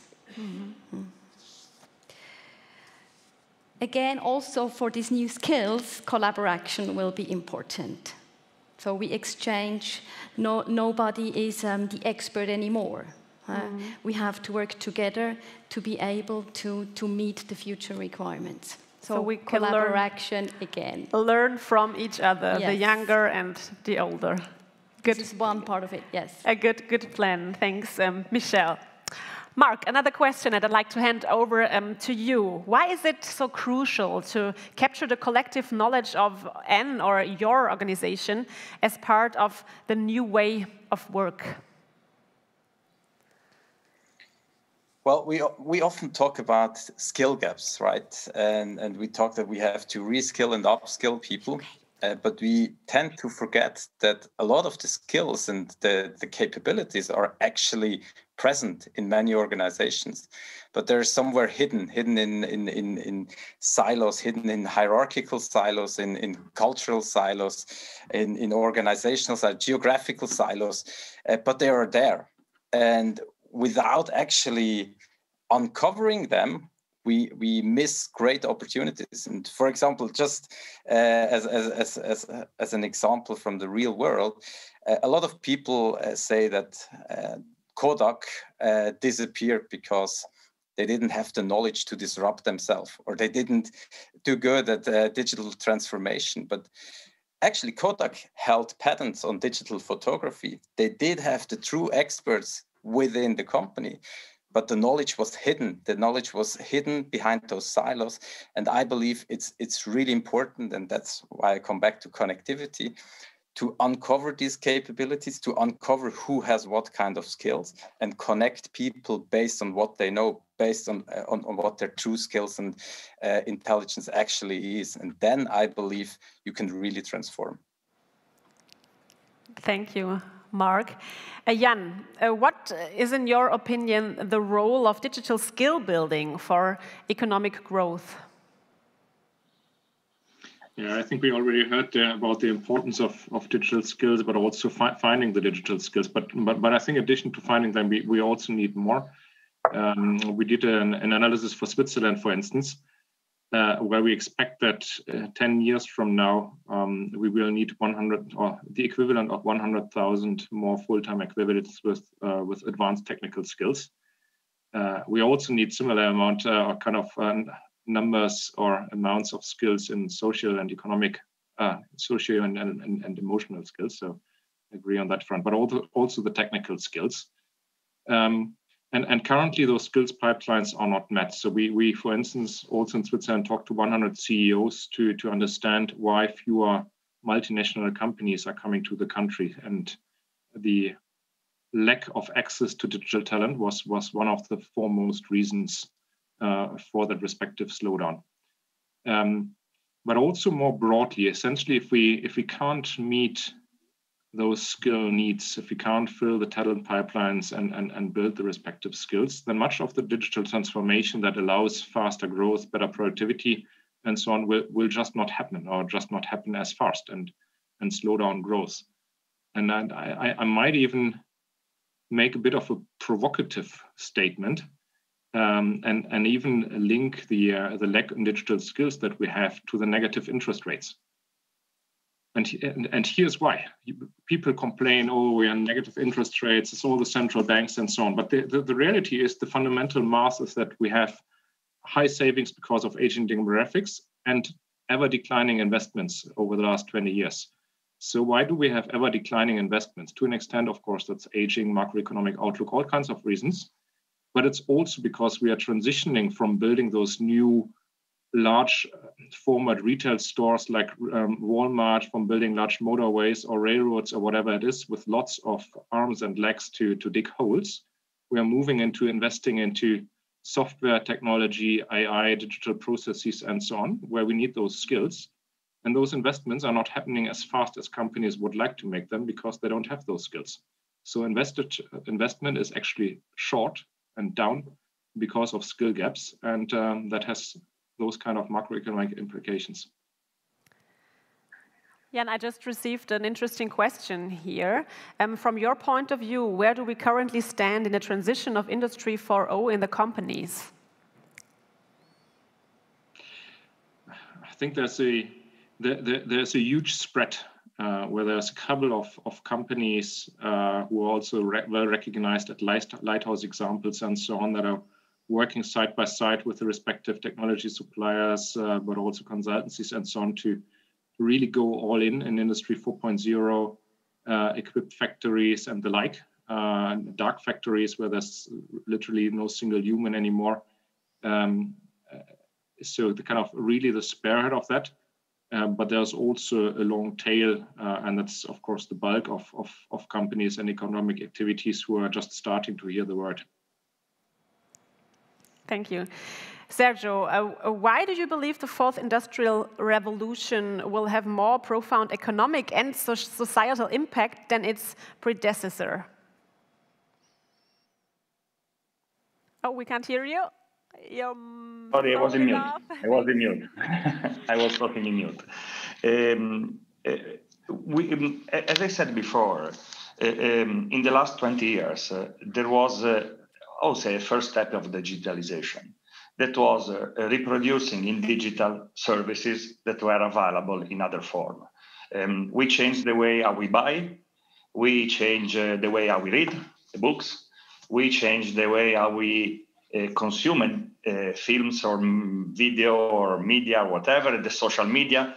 But uh, this was, uh, in my view, not really game changer. It was a bit more a transformation of services from one way to another, but still more or less similar.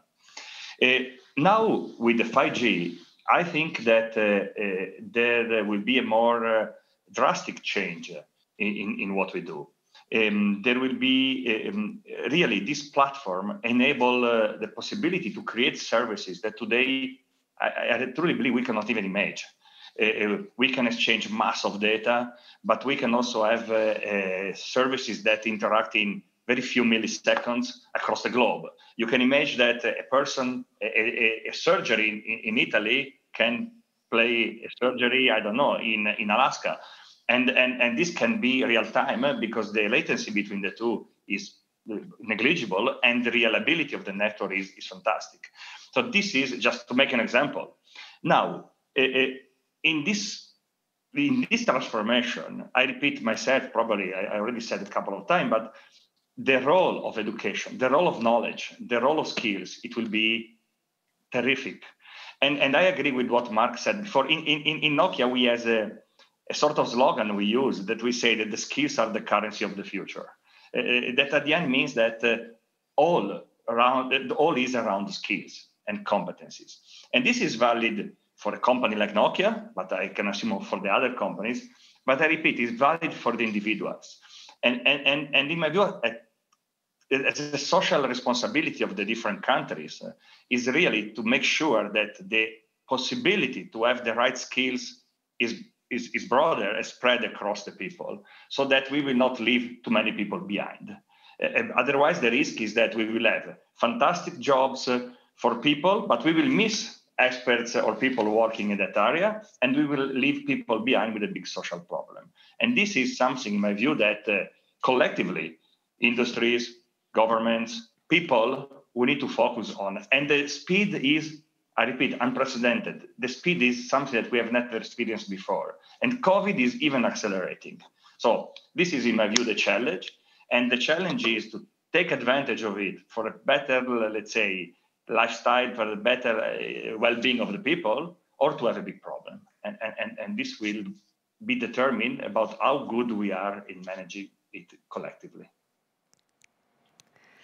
Thanks, uh, Sergio. Michelle, let's talk about your, your front staff, for example, the fitters and uh, the service technicians.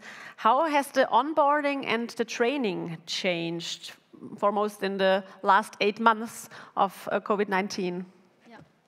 Let me put on that just to make the point. who I'm talking about. So we talk about our fitters and service technicians. so the, the people in the field. Uh, it, it's not specifically the last eight months which changed. Um, in Switzerland, we have a so-called lift camp. So this is um, an education. It takes um, two months where newly hired fitters and service technicians um, come in and they learn practically and theoretically how to install and how to maintain a, a lift. Um, and in between, they had like a three weeks uh, practical session in the field, applying what they learned. The first bigger change came around two years ago, where we really started to mix the methods. Uh, so um, they got much more e-learnings, uh, around 27, and around 50 to 70 video tutorials. Mm -hmm.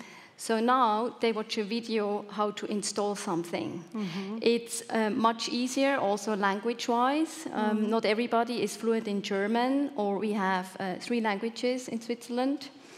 And also they can actually watch it when they use it and repeat it. And Watch repeat it once, twice, exactly. three times. Or they have now um, learning methods, so watching, listening, practical applying, which um, makes it much more successful.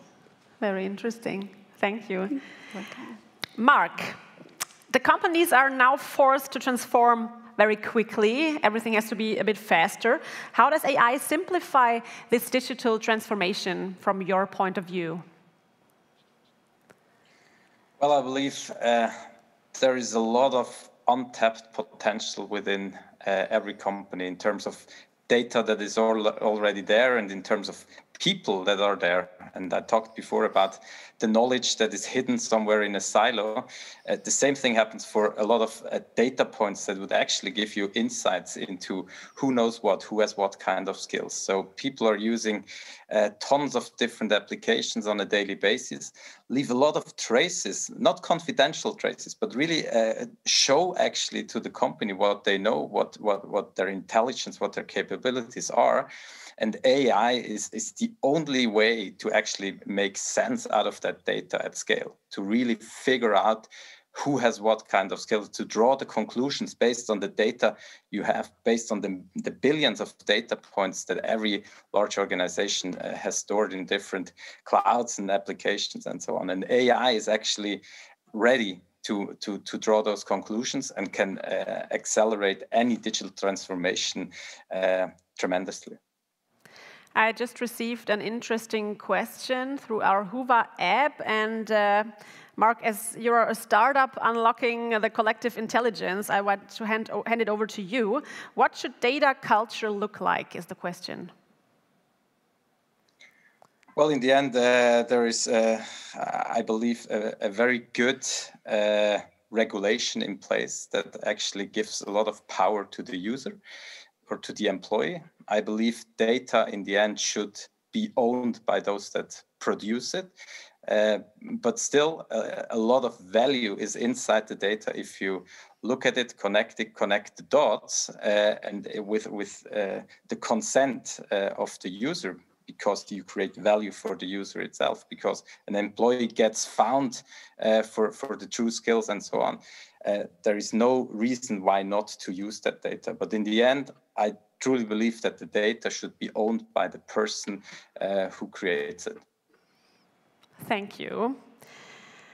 Um, so let's check what we have to discuss. Um, I had this one, I had this one. There is one on my phone. I saw it. so I will hand that over.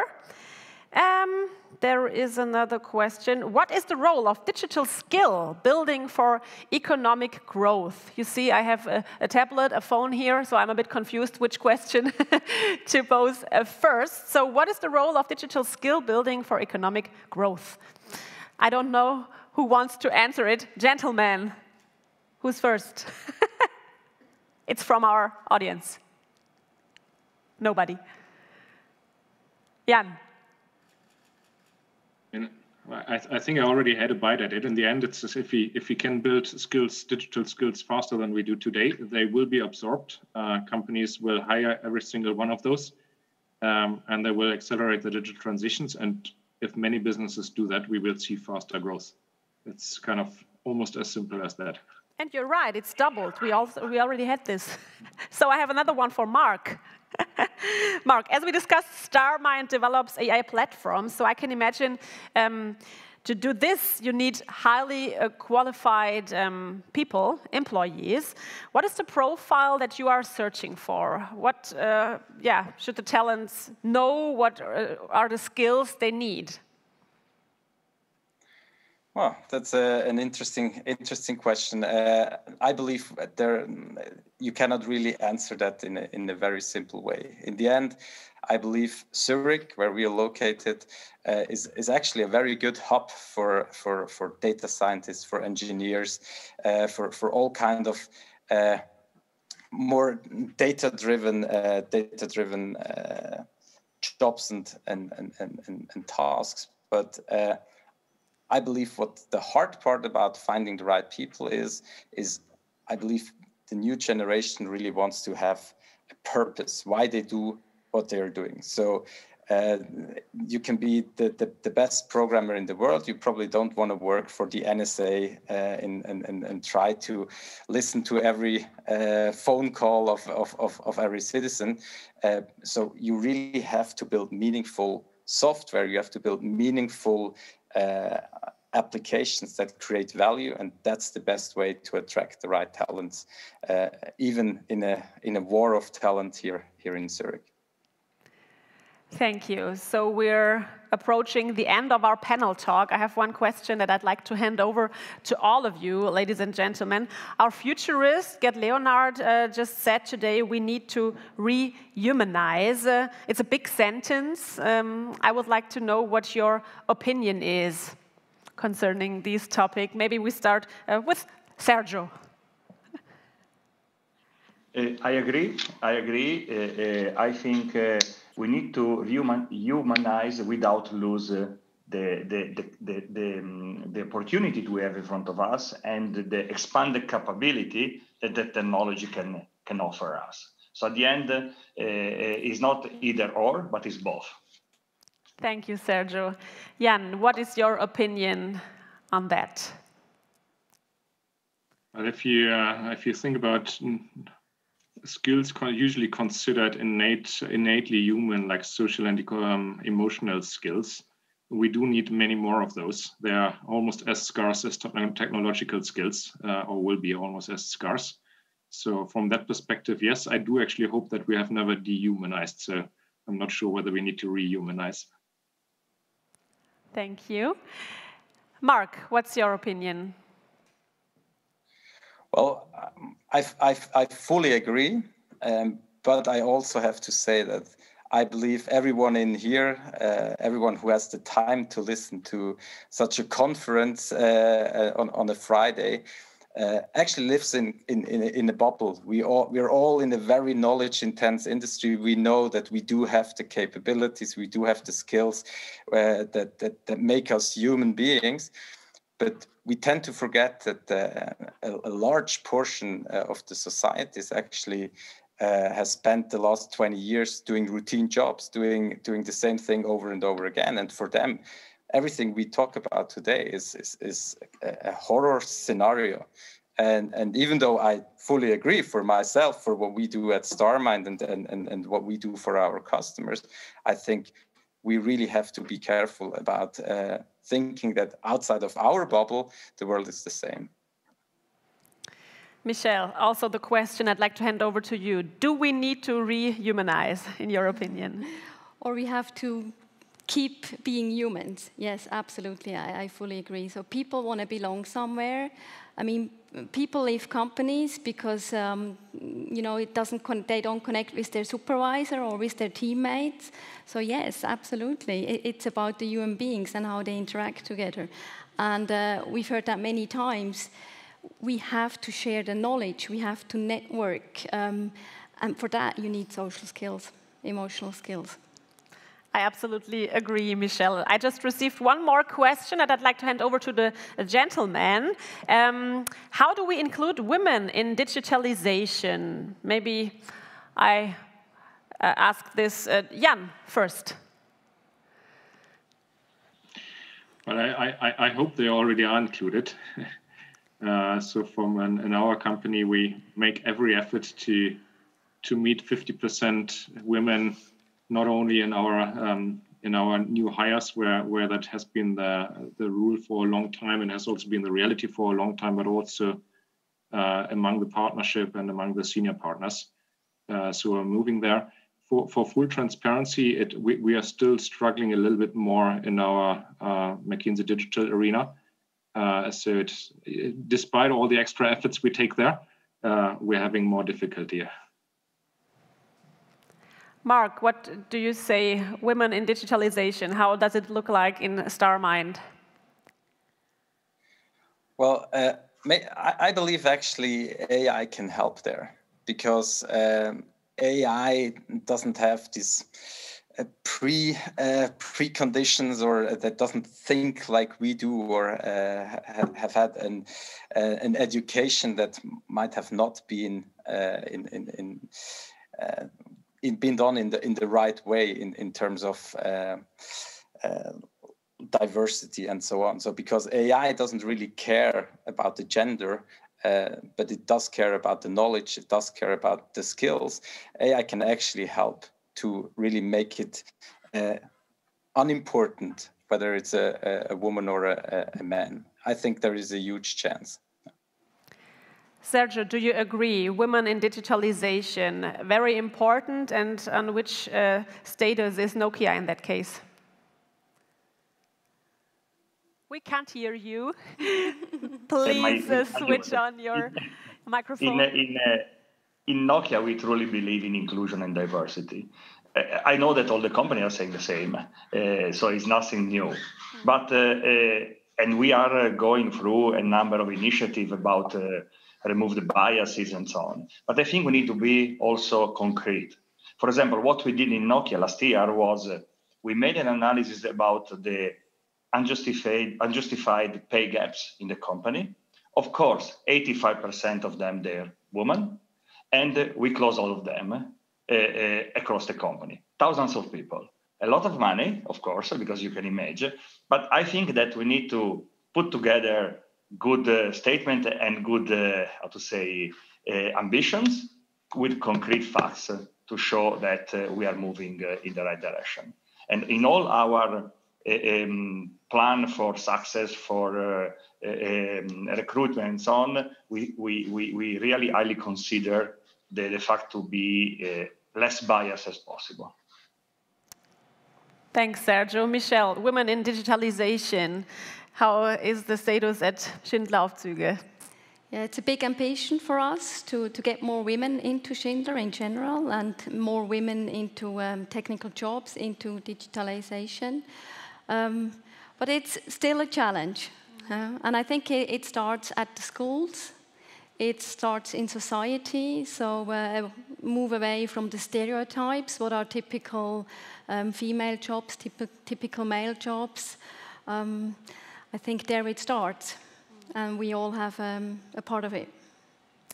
Thanks, Michelle. Thanks, gentlemen, for this uh, very interesting uh, panel talk. Thanks for your insights, for um, the experiences you shared with us. We could talk on and on, but uh, time is running. We're at the end of our first panel talk. Thank you very much for being part of it. Thank you for being part at Future Talk 2020 here in Bern via video call, all live on site. Thank you very much. All the best to you. Stay healthy, stay safe, and hopefully see you next year all together at Future Talk Live. And ladies and gentlemen, yes, a big applause. Thank you for that. Thanks, gentlemen. Thanks, Michelle. Thank you. Ladies and gentlemen, we're about to have a short break of around about 30 minutes. Also for our guests here, we have prepared a cappuccino, coffee, and so on. Hopefully you grab one at home or at the home office too. If you want to share your thoughts and experiences um, on social media, please use the hashtag FutureTalk2020 and you can get more information about all our speakers, our panelists and experts on our futuretalk.org website. Don't go anywhere, we're on in 30 minutes. Stay tuned.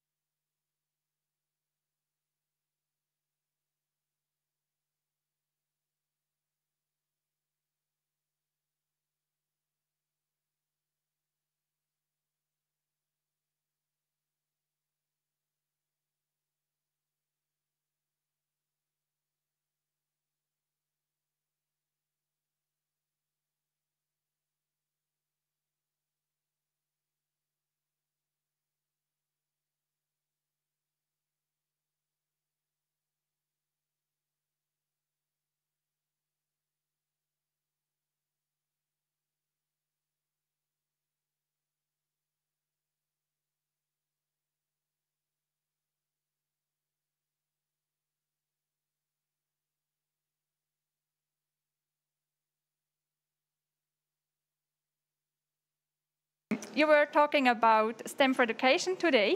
Yes. And um, so the question is could you give us your individual takeaways of the speech you had before or like the panel discussion?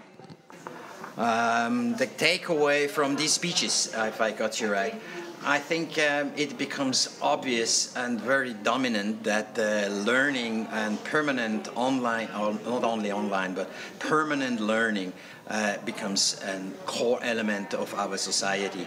As the environment is changing, as we um, uh, experience right now with this COVID uh, pandemic, um, we see we have to change dramatically fast, and this is always connected with learning.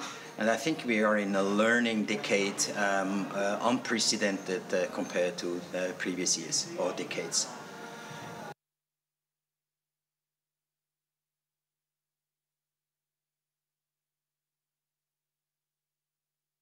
So before, um, in your speech, you were talking about STEM for education, and um, could you give us like um, your takeaways of your individual speech? I think that what was very clear is that um, all of us, I mean, all the panelists were to totally on the same line and agreed that uh, STEAM today is more important than ever. And uh, at the end, even if each one looks at it from a different perspective, uh, everything comes together in terms of uh, the need today to be more inclusive, to be more transdisciplinary, to be more open to uh, gender balance also, and to be also, I mean, above all, in link with society. Uh, and it's, I think, the only way to do that is to really uh, encourage uh, from the younger age as possible.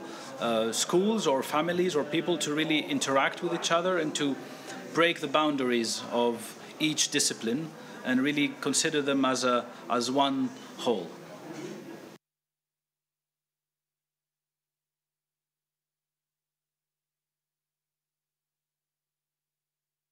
So before you were talking about um, STEM for education. Yeah. Okay. and um, people would be interested in your personal takeaways of the speech you just have in the panel discussion. I think for me it's it's very important that uh, we uh, expand the classical definition of STEM not only into arts but also into other competencies like curiosity, creativity, problem solving, team working, and all these type of things. Because at the end of the day, in our industries, people will also not only need technical skills, but they need also social skills and emotional skills. That's one of the takeaways. And the other takeaway is, uh, which is my favorite, uh, we need much more women in STEM jobs, and we need to find ways to overcome the current hurdles that we see for young girls to ultimately choose a technical, a scientific, a natural science job instead of uh, going to a bank or into hospital or wherever.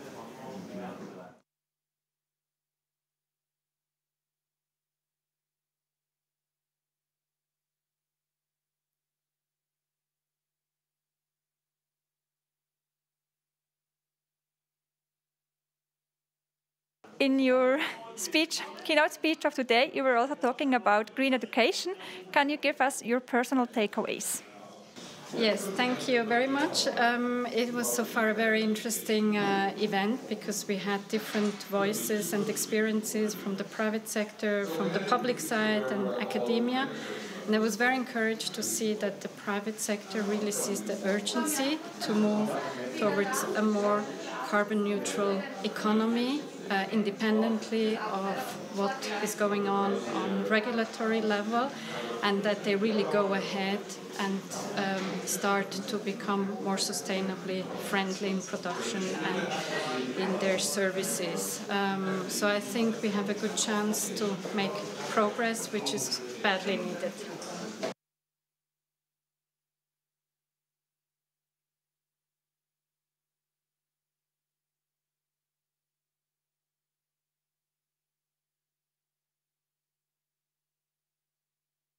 Today at Future Talk, we talk about green education. And um, we are interested in your personal takeaways of the panel discussion you just were in before. Sorry. okay, um, I was um, very impressed by the experience of the different speakers. They all point brought in a different point of view. Um, it's, my background is, of course, more university and high school, and the background of other speakers was more vocational training, which is, of course, very important. Switzerland is very strong in this dual education system approach, where you have where you try to combine both higher education and vocational training and make sure that those with vocational training can actually also make a career uh, by further education. And I think that's the, the dual education approach is really um, an interesting um, approach in Switzerland that could be scaled up, could be adopted by other countries. Of course, always adjusted to the different contexts, but um, yeah.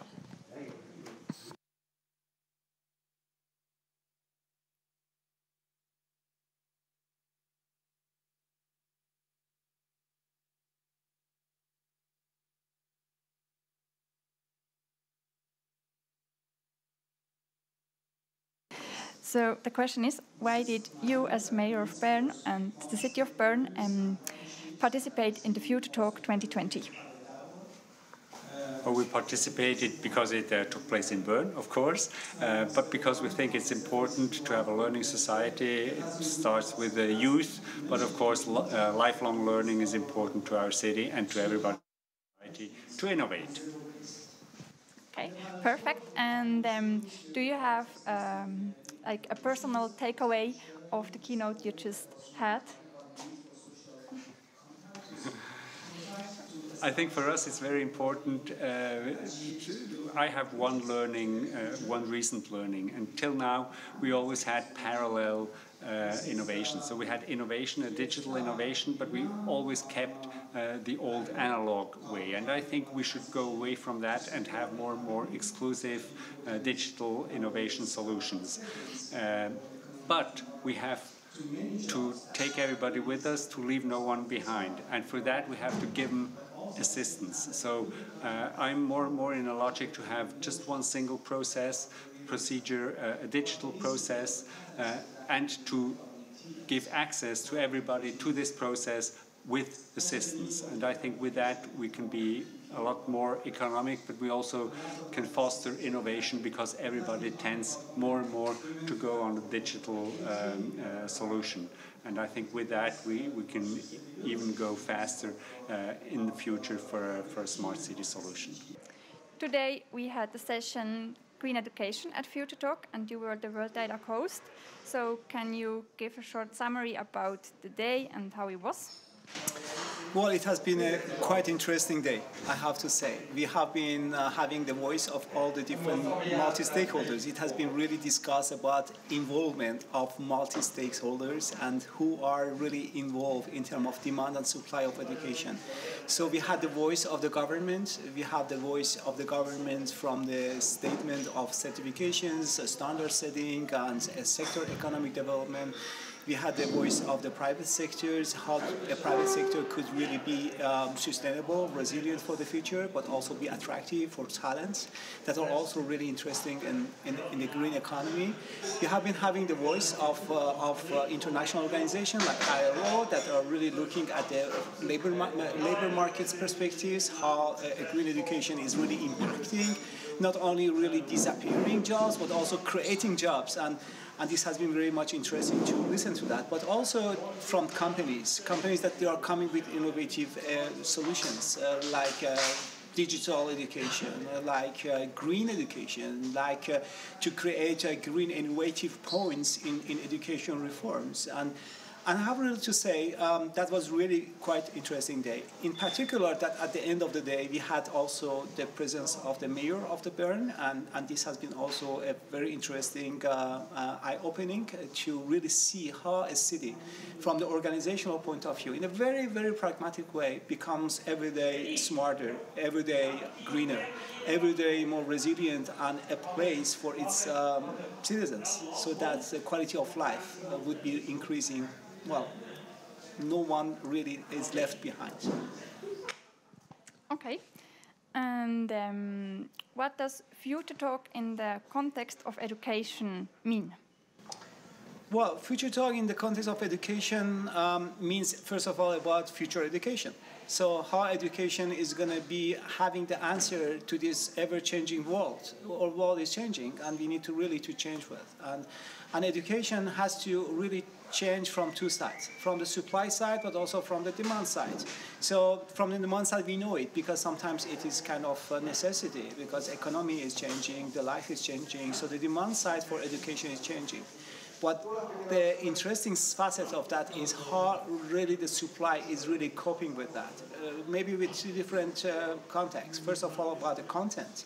What the content of education is really relevant for, for, for nowadays, in the year of 2020, and also for the next decades to come to really reach our, our, our sustainable development goals. But also with regard to EdTech, what kind of technology we are using for education, how do we organize education in a, in a, in a smarter way? Um, what is the impact of education really to, to have it uh, inclusive, but also to have it uh, you know, gender neutral?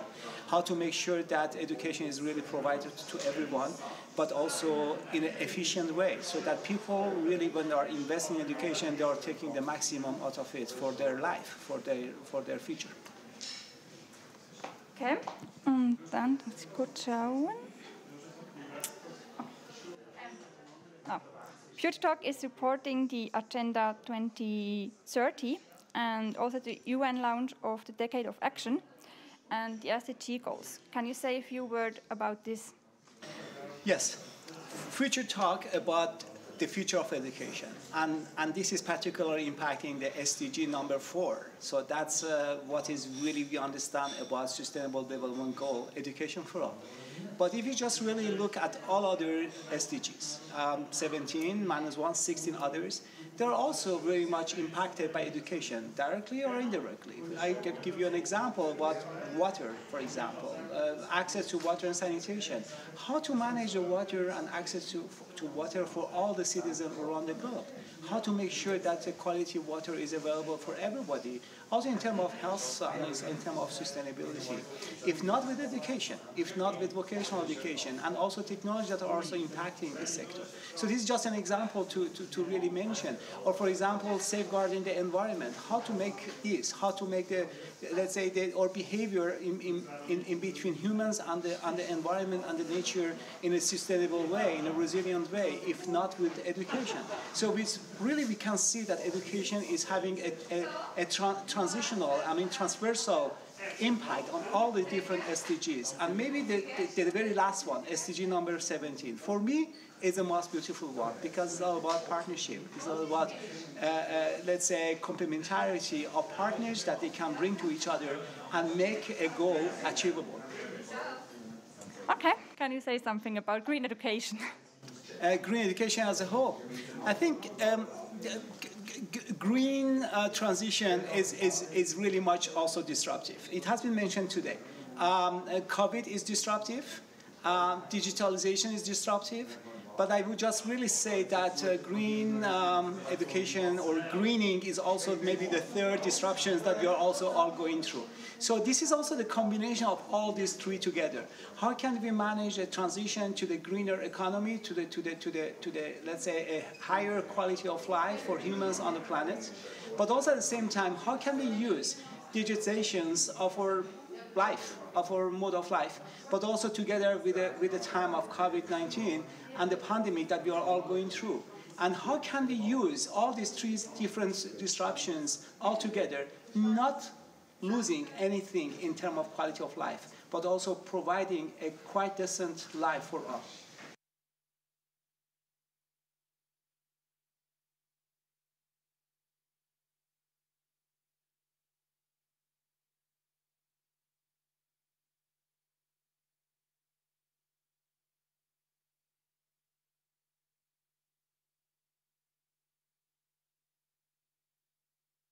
Hi, it's Gerd Leonhard, futurist again, with a second session for Future Talks in beautiful Bern.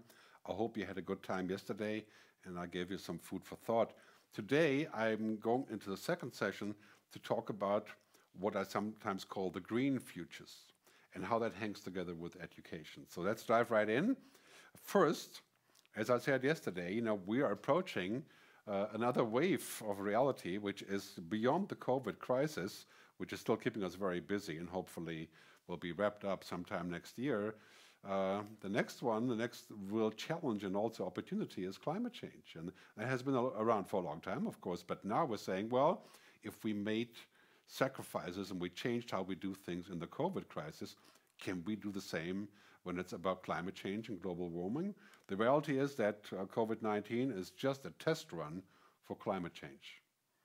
That is in terms of impact, in terms of uh, urgency, but it's just a little bit slower. So we have a hard time understanding what's coming in 40 years. Or, but rest assured, it will all happen in 10 years to a substantial impact of issues, which I'll talk about shortly, if we don't take action now. Again, like I said earlier, we're at a pivot point, at a fork in the road, where we have to take action or result in consequences, for example, as we did in COVID, where we weren't ready and we weren't ready to make those changes. Here in Switzerland, we're very lucky that we were uh, to a large degree. Of many other countries like the US and Brazil, yeah, there's a lot of suffering because of this. And the key question when we think about that future of climate change and global warming this is a scene from San Francisco just uh, four weeks ago when there was wildfires all over California, the biggest ones ever.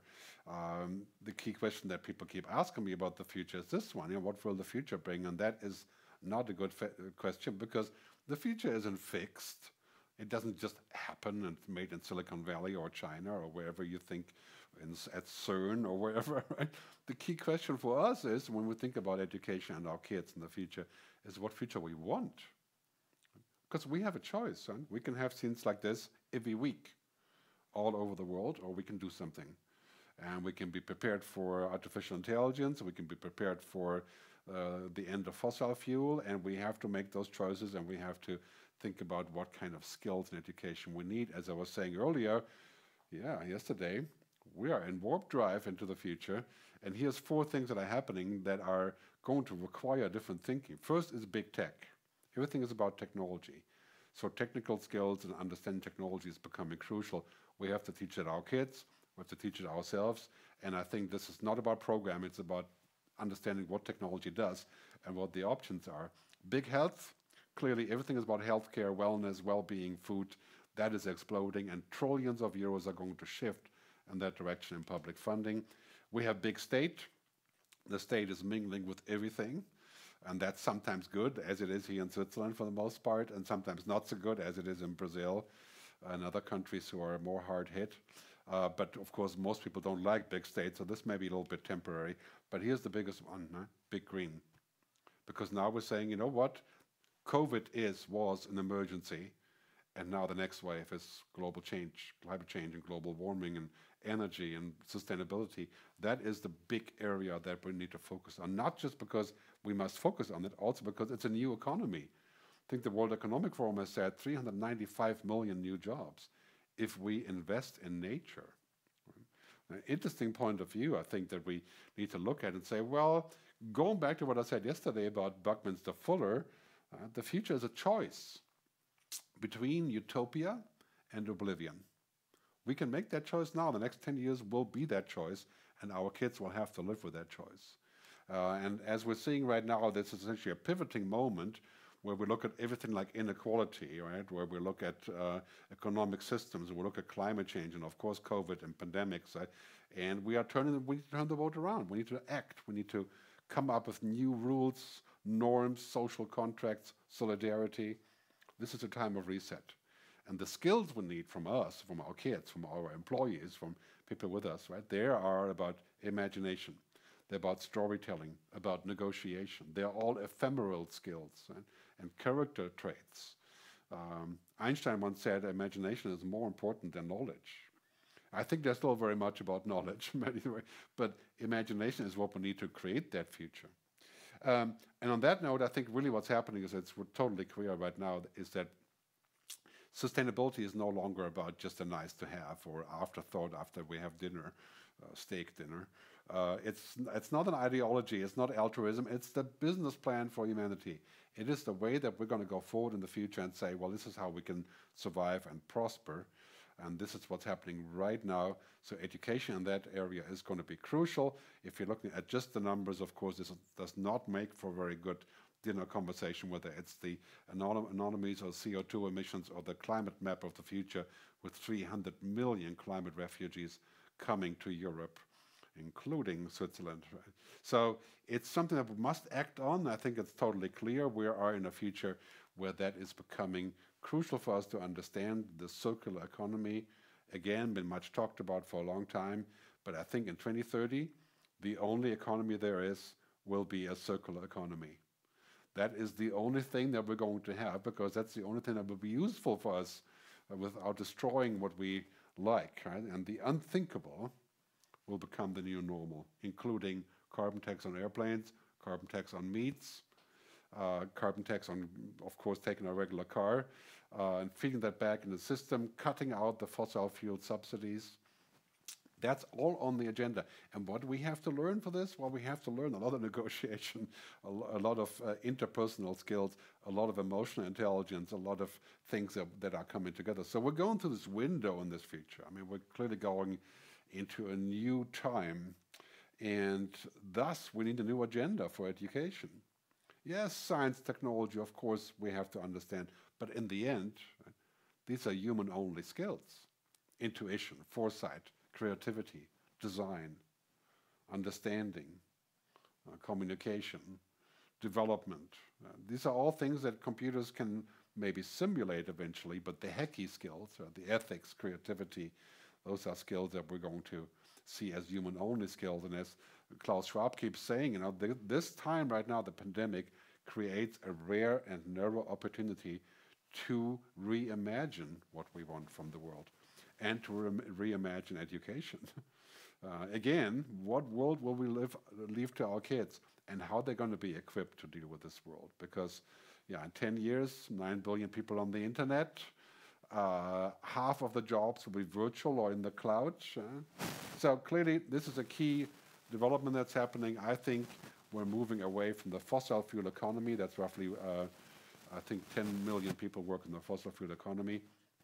Now we're moving to away from that into the renewable uh, fuel economy, and I think this is really quite a huge shift in every possible way. I call this the people, planet, purpose, prosperity economy, or the green economy, sustainable economy, and that is a huge opportunity, especially for Switzerland, especially for international organizations, because it's a business model that is sustainable and that should lead to a uh, good scenario in the future.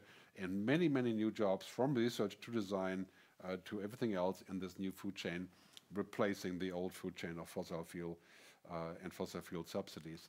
That is going to be a very big deal, especially for those millennials that I'm showing you here, because the share of population uh, is going to increase. Right, right now, we're still sort of around this, the Generation X and the baby boomers. They're still making a good chunk, but you know, right now it's already exploding. So roughly around now, it's already at 41% or so. But basically, the future is going to be owned by the Gen X and the Gen Zs. You know, the kids are now between 12 and 35. That's going to be an entirely different scenario. We have to help them to understand this future because clearly they are going to be the ones in control of business and governments, and as we see around the world, uh, also taken over governments. Um, like you know, in New Zealand, we have, of course, Jacinda Ardern isn't quite a millennial, but, but a lot closer than I am to this. And they're going to have to juggle this 2030 landscape big tech, big health, big state. And here's what they really have to juggle that is the big green. That is the most fundamental thing that we need to look at. And this is, again, it's not just because we have to, but because we have an opportunity there to do a reset in the next 10 years. After that, I think uh, we will get to the place where we wish we would have done a reset. So, global paradigm shifts all over the place. That's what we can expect in the next 10 years. Decisive action on climate change. It will be painful, it will hurt, but it will also create lots of new work. It will shift the money from oil and gas and weapons and whatever we currently are investing in. Uh, not Aramco, but Griamco, so to speak. Right? Decisive action on climate change that is coming. A renewed focus on healthcare and social and education, also many, many new jobs in alternative medicine, personalized, customized medicine, and education, of course, as the key component of dealing with that new future challenge. Um, a rise of diverse young and female leaders, and we have already seen that the, the female leaders of the world have fared much better in the COVID crisis. Uh, Taiwan, New Zealand, Switzerland, uh, Sweden, uh, Iceland, and of course Germany. And we're going to see a lot more of that, and we will see populism die because the performance has been absolutely miserable, as evidenced in the US. But more technology everywhere, right? And basically, technology is going to run everything because it's becoming smart and, and cheap and powerful. But we're also going to see more techlash. You know, people are going to say, well, you know, we want technology to be controlled. So look for technology regulation in the next couple of years. We may see less globalization because of supply chain issues that every company is looking at. But we're going to see also more global collaboration because only with multilateralism can we actually solve the large problems like security, safety, water, food, disease, and so on. Right? So, in a nutshell, this is where we're going also in the context of, of the green future and the, uh, the green deals that are happening around the world. Skills on two levels, and the STEM levels and the HECI levels. Uh, and they're going to be much more on par as uh, much more than they have been so far. I think we're going to see a return to humanistic uh, education also at many uh, colleges and schools, in, including, of course, art and design and sports and music and ethics and philosophy, uh, because that is what machines can't do. We're going to do what machines can't do, and we're going to really change the way that we look at this. EQ and IQ, right? In the world's fight against coronas, female leaders show the way. That was from April this year, and it's still true. Let me give you a short quote from my favorite uh, person, the quote from uh, Jacinda Ardern, the Prime Minister of New Zealand. If I could distill it down into one concept that we are pursuing in New Zealand, it is simple and it is this kindness. Yeah, I imagine as a principle of government kindness. Well, that sounds like EQ, doesn't it? I think we're going to need a lot more of that. And how do we create this? Well, we have to create the environment for it. We have to create the openness for it, the possibility for it. So that wraps up the second take on uh, the green future and education. Going a little bit closer. Tomorrow I'll go on a little bit longer uh, on uh, the remaining topics of artificial intelligence, the future of work, and other such minor topics. Uh, thanks for tuning in, and I hope you're having a good time at the event, and I'll see you tomorrow.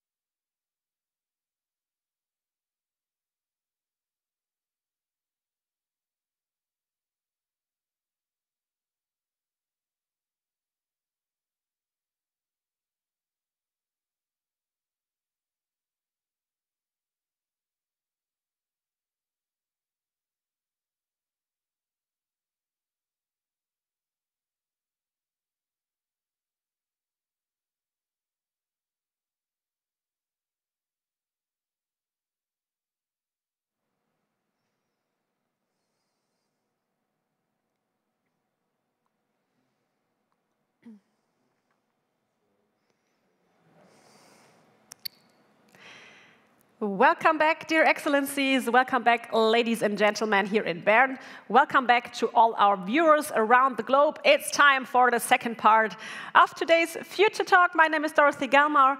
I'm happy to introduce myself for the next two hours to all our participants just tuned in.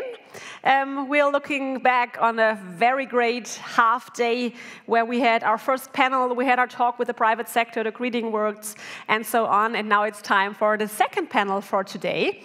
And this is our topic. How do we organize education for O? How do we shift and digitalize teaching and learning towards the need of future industrial and social skills, employability, and growth. And I'm looking forward to meeting um, the panelists, not live in Bern, but virtually, and they will join us via video call.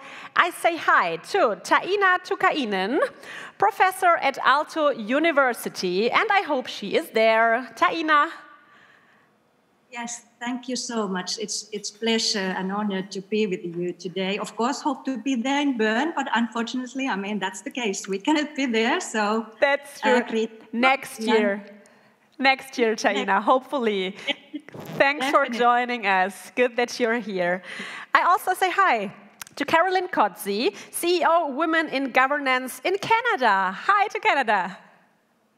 Hello, good to be here. Thank you for the invitation. Yes, thank you for taking part. Thanks for your time.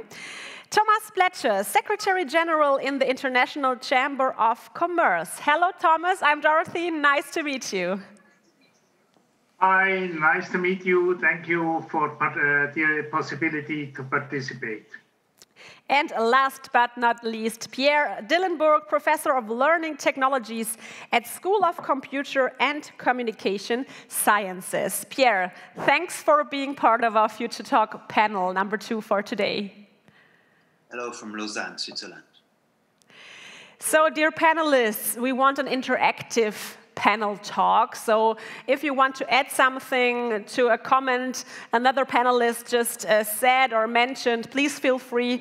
We want it to be interactive. And also for you, ladies and gentlemen, um, at home or at the home office, I have uh, my Whova event app here on my phone, and all the questions that you post uh, in the Whova app or um, in the comment function on YouTube will appear here on my phone, and I will hand them over to the panelists. So please feel free to interact with us.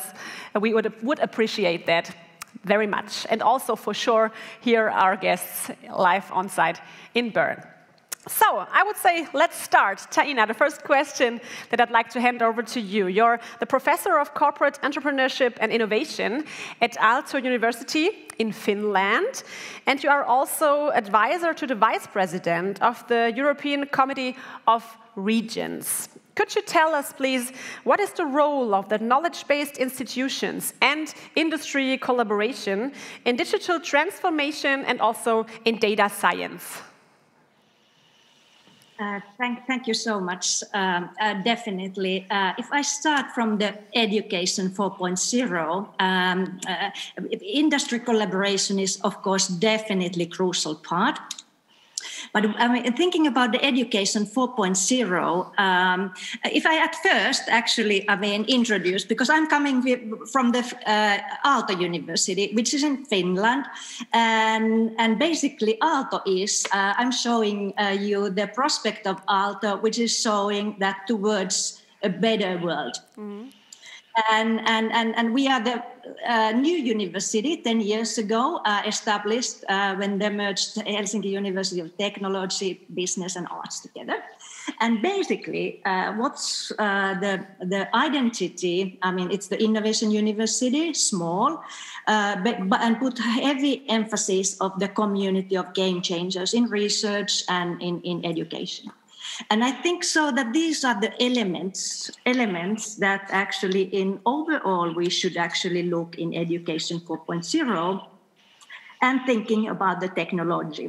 Um, I, am coming from the technology and business side, uh, but I think that the key messages, I mean, thinking about actually, I mean, uh, what, what's evident in into today's world is the change, change and learning. So those are those who stay And then if we are looking, Mahatma Gandhi said actually very uh, nicely, long time ago, that live like you die tomorrow and learn as if you would uh, live forever. Mm. And I think so. Those kind of mentality is the key. Even though we are talking about the technologies, even though we are talking about actually, I mean, uh, digital transformation, uh, that goes and, and industry together with the society, of course, that I mean, very responsible decision makers make it, you know, work and and and come uh, uh, uh, better. But uh, certain things needs to stay, and those are the values. And and if I'm thinking now, I mean, we heard about, I mean, in these three days, I mean, uh, in the war, a lot of stories. I mean, how digital transformation, uh, artificial intelligence will affect us, everybody, and, and will turn our lives upside down. But there are certain things I think that actually are staying, and there are certain hope. And, and the first thing is where I actually believe it is the next generation and youth. Uh, there's lots of talk. Are they better? Also, uh, in uh, in my opinion, they are better than ever. They are more knowledgeable. They are more capable. Mm. If we are thinking about any PC phone or so, uh, I use my kids uh, to fix it. Mm. even though I have a degree of I'm the doctor of the technology. but it's evolving so quickly, and the youth of course, they need to be uh, in, in, in the top of the trends and, and, and top of the capabilities.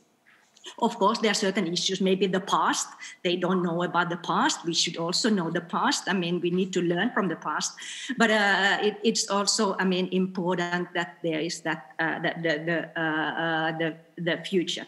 And this kind of, we talk about mentorship, it's happening in the industry, it's happening in, in the education, knowledge societies, but uh, the reverse mentorship uh, should actually uh, give lots of, uh, uh, uh, for the firms as an example, so that using the youth and young people, mentoring about these quick fixes, let's, let's say it so. And also the women, because uh, women are the minority in the uh, high-tech world, as we heard actually in the last uh, uh, session. Of course, I mean, this is not enough. We need actually then anal analytical frameworks, perspectives, and strategic thinking. Uh, of course, that strategic thinking and, and, and, and, and is, is more and more important uh, in this kind of world, which is changing.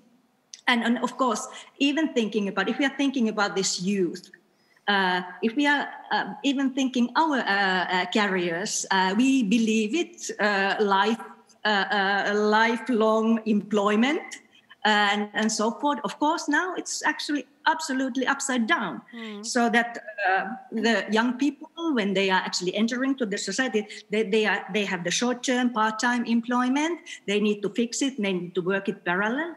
We need to actually to mentally teach the world to, to that kind of situation, cope it, uh, and, and, and, and onwards.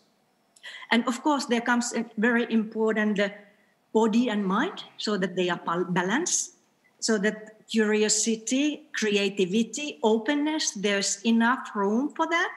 Because as we know that innovations, they are uh, uh born uh, by uh, mistakes or born by uh, the freedom to think mm. kind of of course there's also the i mean kind of discipline that believes that push push push and then you get the innovations and they are coming also but uh, it's not so obvious that it's only one way yeah one way.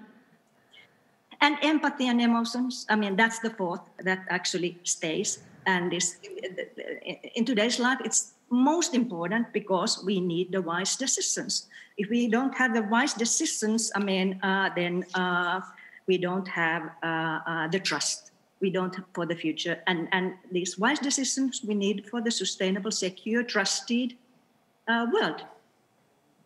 Of course, that's done together with the industry. Uh, industry plays a key role mm. in that. Thank you. Taina, for sharing these thoughts with us. I'd like to hand over the next question to Thomas, uh, Thomas Pletscher. Uh, the ICC, the International Chamber of Commerce, is um, the voice of world business. Um, it's headquartered in, in Paris, in the beautiful city of Paris, and embraces 45 million companies in over 100 countries. And you run the ICC office here in Switzerland. Um, and my question is what is the role of ICC in global business education? And what are the recent developments from the industry perspective? Well, thank you. Uh, ICC was created just at the end of the First World War by uh, a group of businessmen. They called them Merchants of Peace, and their objective was uh, peace and prosperity through trade and development. I think this slogan is still valid uh, today. Uh, ICC focuses on various activities. One is advocacy. Uh, this advocacy is done uh, to facilitate trade and investment. We are the only private observer organization uh, being a member of the UN General Assembly. Uh, so uh, this is one part. Second part are services like, for example, Court of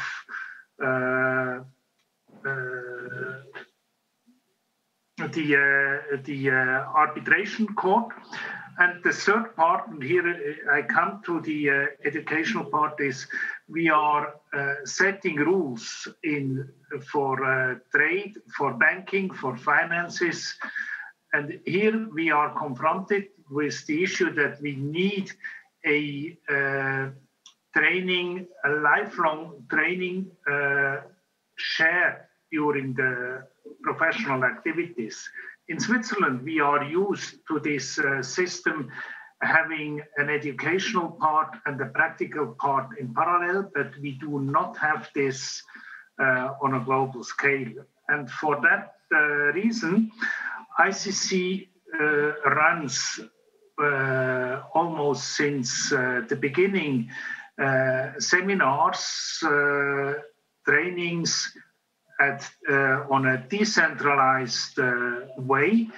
But now we are having created, uh, we, we have created a ICC Academy with headquarters in Singapore with the support of the Singapore uh, government. And there we offer uh, since about uh, 2017 online training courses uh, in addition to the physical training courses. And in the recent times during COVID, uh, we have uh, uh, been, uh, this arm has quite some development courses, online webinars on different topics have become much more important.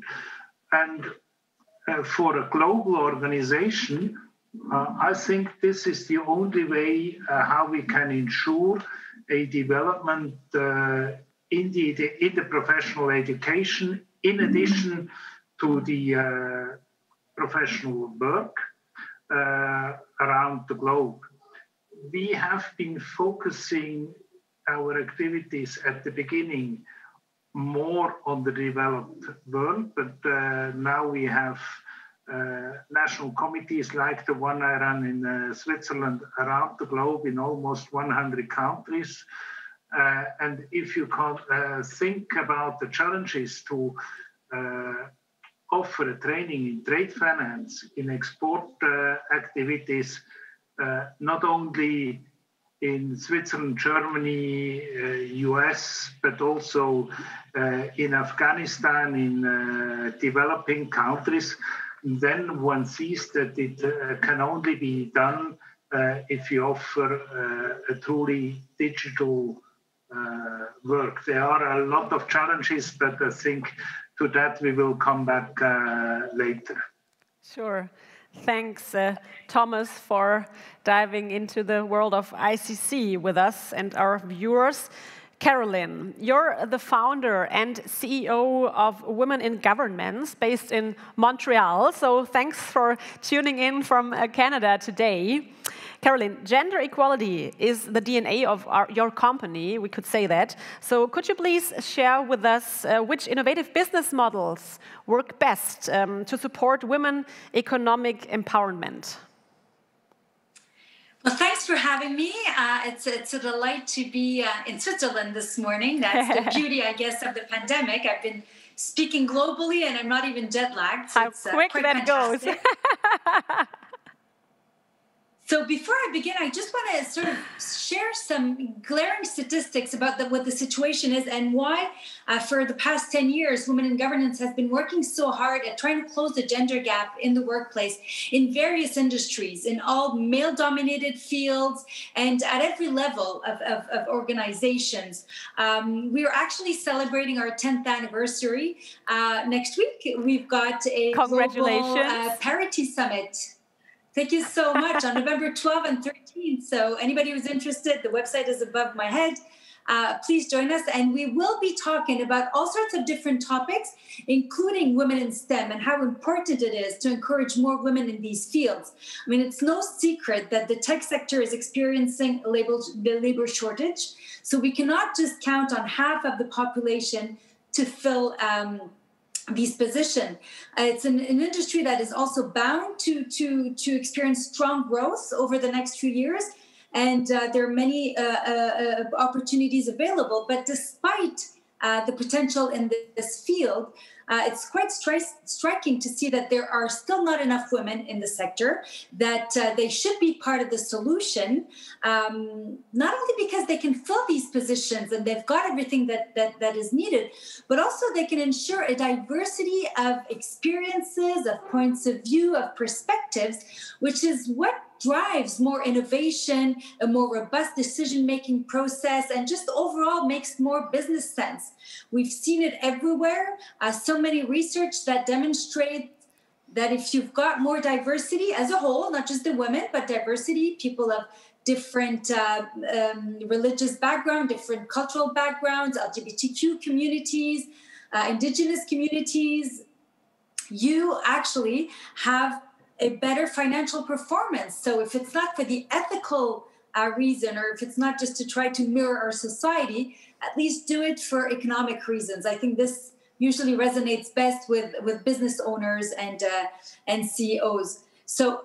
As I mentioned, for the past decade, uh, working to get more women into the boardroom has has been uh, our focus. Now we've uh, we've shifted more and more towards the, the, the, the, STEM and the importance of more women in um, in um, in digital, and and I think COVID nineteen has probably accelerated that.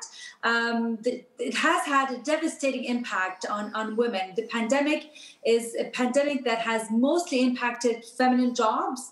Um, and, and for years, um, corporate leaders have talked up a big game about diversity and supporting women leadership. Uh, but even before the pandemic, we were 180 years away from uh, reaching gender parity. And these numbers are not just from uh, the top of my head, these are numbers that have been shared at, the, uh, at Davos, at the uh, World Economic Forum, numbers that you can find in McKinsey uh, global reports, etc. Globally, less than 8% of Fortune 500 CEOs are women. And among Canadian companies, that number is less than 5%. Uh, women executive um, in executive officer positions still earn about 68 cents for every dollar um, earned by their male counterparts. Mm-hmm. Um, so it's, it's quite it's quite striking. There's there's a lot of work to do. Uh, the um, the um, the movement is is slow, but it's constant, and I think there's a big uh, awakening in how important it is to have more uh, female role models. And uh, I've done a lot of work with NASA in, in, the United States. I was a keynote speaker for them uh, just uh, last month, and um, actually having one of their executive directors on a panel at our event next week, alongside an executive director from the Canadian Space Agency. And uh, NASA has uh, renamed their, their headquarters by the name of one of the hidden figures, uh, one of the original engineers uh, that helped uh, send men to space. Um, Mary Jackson, uh, Johnson, sorry. So I think it's fantastic all the things that we are seeing uh, in you know in in uh, pledges and uh, engagements and uh, desires of having more women engaged. But I think there needs to be a lot more done very concretely in terms of preparing women and training them, mentoring them, giving them also the ability to come out of their comfort zone and feel confident that they can actually accomplish these jobs and providing them with a safe space. I mean, still too many women are telling us how they feel that these industries are sometimes um, hostile to women. So we need to ensure that women feel welcome mm. and that they are um, they, they have a seat at the table and that they can use their voice. So I think, in a nutshell, uh, that kind of opens up my uh, absolutely my, very my important statement. Thanks, uh, Caroline. You're so right, Pierre. You are the academic um, director of the Center for Digital Education and professor of learning technologies in the School of Computer and Communication Sciences at the Swiss Federal Institute of Technology in beautiful Lausanne. And um, my question is how do we make education more agile? Oh, we can't hear you, dear Pierre please uh, turn on your microphone. Perfect. Mm-hmm. So there are two things. What we do for vocational education, Thomas mentioned what we call Berufsbildung, is that the, um, the um, corporate association have to redefine a new curriculum every five years, which is a huge amount of work. And uh, one question we are addressing is can we make it faster? you know, WHO is is following the CDC in the US following the propagation of viruses online very quickly. So can we do the same thing for the emergence of new training needs? And um, so can we mine the web? Can we mine the job ads? Can we mine the forums? Can we mine the Q&A system to detect automatically that training need is emerging, not waiting five years? Five years, you think about blockchain, five years is eternity. Um, that for very specific training needs. But I want to talk about uh, more global uh, training needs in the society. So we are a top school, science and technology, like top 15 in the world, usually top 10 in computer science. All graduates will have no problem in the digital society. That's not our concern. Mm. What about the rest of the society? How do they understand algorithms? How do they understand that the recommender system, technologies behind, behind uh, Facebook, Twitter, and so on, choose to show to you opinions that you agree with? Mm. So Trump fans only receive news that support Trump. Trump anti-Trump people only receive news from the anti-Trump camp. Mm. And so you have a country being totally divided today as we witness in real time. So the motto in our university is that it's not just our graduates, we have to prepare the entire society to this digital world. I'm not talking about learning to code. Mm. That's a skill that is important for for getting a job. But beyond getting a job, what does a citizen need to understand the algorithms to be able to to live in this modern world? You know, not to elect the same guy again and again. So the the one approach that we did, for instance, in the Center for Learning Science here, we trained 300 kindergarten teachers. Uh, Caroline, they were all women, by the way. They were there was no and to do computational thinking skills, so understanding algorithms, in kindergarten without computer.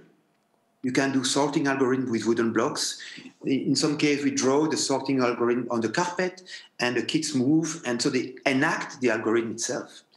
Believe it or not, 97% of this kindergarten teacher who were totally scared to have to do that actually put that in practice into the school. Mm-hmm. So the for, me, one of the big challenge today is to think about how the, compulsory school curriculum, K to 12, should be reshaped to integrate um, this computational thinking, this understanding, not being an, a computer science, not becoming a geek, huh?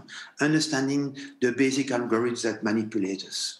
Once I was speaking in front of mathematics teachers, physics teachers, and all of them, and um, I said, you know, if these algorithms are being taught by mathematics professors, or computer science professors, all the people who don't like mathematics will say, no, that's not for me. And we fail our goal of reaching the entire society. So uh, I would like, what, what is important that every teacher integrates these basic skills in his teaching. They told me this is not possible, we have no time. I said, history teacher, now we have no time. But one week later, I received an email from 12 Latin teachers. You know, Latin is, uh, is a grammar. A grammar is a graph what we know how to do in computer science is to manipulate grammatical structure like a language and and latin is quite a nice grammatical language and so mm-hmm. so they said yeah we would like to integrate computational thinking in latin so that the people who are more on on on literature than on mathematics still believe that it's part of their basic skills as a citizen to to, to understand algorithms. And to finish, I would say, very often when you say this, everybody say, oh yes, we have to change education. We have to do that. And we, start, we create committees. And all committees fail six months later when there is one question that emerge. Okay, what do we stop teaching? Mm. If we have to teach new skills, what are the skills that we will stop because the curriculum is full? So usually that's the most difficult moment when you want to in, improve education is to agree with colleagues what you are not going to teach anymore, or to use a dictionary. Try it with a teacher. You know, dictionaries are obsolete. We never use dictionaries anymore. We have a dictionary in every device that we use, mm-hmm. and still we teach the kids how to use a dictionary. Sort, learning to sort is important. Learning to search, learning to that's important, but manipulating the page of a dictionary is last century. Mm. And try that with a colleague. Say, oh, we're not going to teach you how to use a dictionary. You will get killed in one minute. So, so for me, the challenge is uh, we need there are new skills that every citizen needs to be equipped with, and the sub challenge is okay, but there are some skills so that we have to abandon because they belong to the last century. Merci, Pierre, for these insights. So many steps ahead in that case. That's what I felt from your speech. Um, Taina, our futurist, Mr. Leonhard, uh, just said we live in a world of big data. Data is the fuel of digitalization and for sure also of Industry 4.0.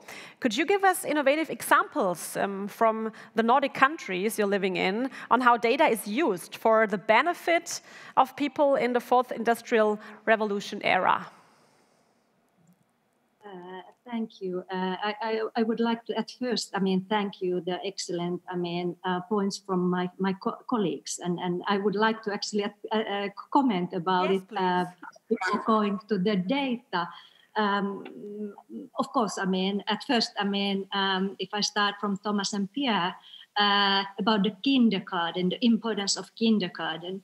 And, and also it's related to the question that you just actually pose, uh, pose about it. Uh, uh, we actually in Finland and I think Switzerland uh, are similar in that sense that actually we believe it that the kindergarten is a, a kindergarten, preschool, schooling, uh, the early stages are so important in in in learning um, uh, uh, uh, lifetime uh, uh, that process that um, actually that actually tells a lot about our our, our future and also the success. And what we actually well, how our actually I mean approach for learning is it's through play so learning through play and and we are actually leaving and letting the children to be children actually pretty long time so it's on on the age of six when actually it comes like i mean a little bit more like a, a, a fundamental, but still actually via play, play uh, uh, the, the, the, kind of comprehensive uh, training. And that's important for creativity. It's important for the actually uh, um, uh, new things and, and, and, and so forth. And, and, and there, also it's a philosophy that learners have an active role. So they know uh, what and how they learn. And this, I think it's extremely important today's life, as Pierre, you said, that uh, everything is, uh, we, we can click and we can find out the information. Mm. So why actually that should be taught? I mean, during the uh, sessions, of course, the certain things discussion is important, and it's important. This, I mean, this mission and and and, and challenge driven thinking and and and even the kids can actually, I mean, solve the issues like the sustainability. I mean, they have a great solution. We know actually, of course, Greta Thunberg, but even the younger children actually they teach uh, the, uh, the families and parents um, and as an example for recycle the things. mm, right. uh, and that goes to the digital as well. But uh, now actually turning to the to your question. Yeah, thanks for this comment. Very important one. Thank you Taina. Yeah. Yes and then uh, the, this next one uh, actually about the innovative examples. Of course, one of the, I'm thinking now the Caroline, I mean, and role models of course, I mean, we everybody know that uh, our government is now women-led, and that's actually the huge role model uh, for for the whole world and and of for us as well. And the one thing actually that uh, uh our Prime Minister Sanna Marin. Uh, in governmental program has put it set it up. It's related to this data. Um, the, these innovative examples are similar in Nordics. Uh, but of course, I know the better the Finnish example, so I use the Finnish examples. So uh, uh the, the, the, there is actually one uh, goal, uh, which actually uh, in the governmental program that the, Finland, we want to be a pioneer in digitalization, technological development, innovative procurement, and experimentation, experimentation, experimenting, and experimenting, and then, I mean, discovering the things related to this digital uh, era. And there was a digital report done now in Corona times, and and and and there are certain things. I mean real-time economy uh, and real-time economic and financial data in everyday life for example in our taxation system is actually wonderful in that sense. Of, of course nobody likes the taxes that's the, the, the issue. But they are digital. So actually as a person a company or as a individual person you get your proposal for your taxation. And of course then you need to claim i mean yourself. It's i mean up to you. But i mean if you don't i mean claim it uh, it goes like automatically uh, uh, in the system. So those kind of things i mean are, are working of course the artificial intelligence deployment is it is in, in even in our uh, governmental plan so that actually it's used for better public services uh, one example, which was a, a, year ago done in my home city. I'm, I'm from Espoo, which is close to Helsinki. I don't know Helsinki, you know, but maybe not Espoo. so, so uh, they did it in public services with the industry. Uh, the company is Tieto. Uh, the uh, experiment uh, that uh, uh, the artificial intelligence and how to find out, I mean, the path, service paths for heavy users, heavy service users, and then the lighter service users. And, and they were grouping, and that was helping the, the services. But that was in that time um, uh, the kind of unique thing done, uh, trying to use the artificial intelligence uh, for planning better uh, public services. And and and and but there's huge potential. Of course there are huge threats as well. I mean so uh, and and and of course even though we are talking about that there are lots available but there are we are still missing a lot. And the things that we are missing is of course uh, this um, privacy and security cyber security as an example mm-hmm. it's it's a huge challenge uh, for, for everybody, uh, for every country, for every company. Uh, and, and, and of course, that's part of the, uh, part of the uh, plan as well. And also to creating the cybersecurity industry. Uh, and, and we have it actually, of course. I mean, globally, we know there, there is that such a industry. Uh, one of those examples, this was the, about the good examples, but there's also the uh, challenging examples. And one of the challenging examples happened just uh, a couple of weeks ago uh, in our country. So there was leaking information uh, from uh, um, mental health company. It was a subcontractor for the hospitals. It was a private small company and the information was leaking out. So this kind of things, I mean, uh, uh, cannot happen today's uh, world, but they are happening. So th- there's a lot of things that actually industry needs to do, which are simple things, and to secure uh, uh, uh, in the future that that it's possible to be truly digital in certain things, operation in which are simple and so forth. Uh, uh, uh, as such. Hmm. then one positive positive example, and that's about our open data and, and my data approach open data. We opened the data uh, in Helsinki uh, from even more than 10 years ago, 2008. And now there is lots of open data available uh, and, and, and everybody, anybody can actually, I mean, connect to that open data. Uh, there was also and still is the My Data initiative. And this My Data is actually important, uh, in my opinion, because it, this is actually for ethical use of my personal data.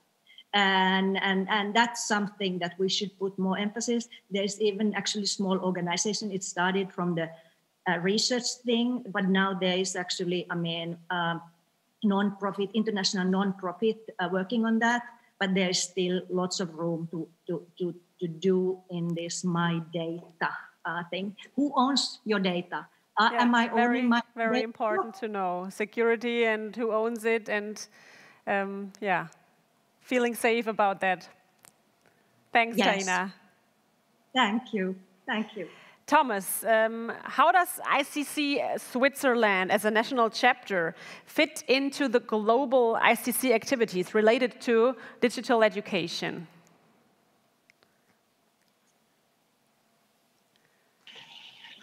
Yeah.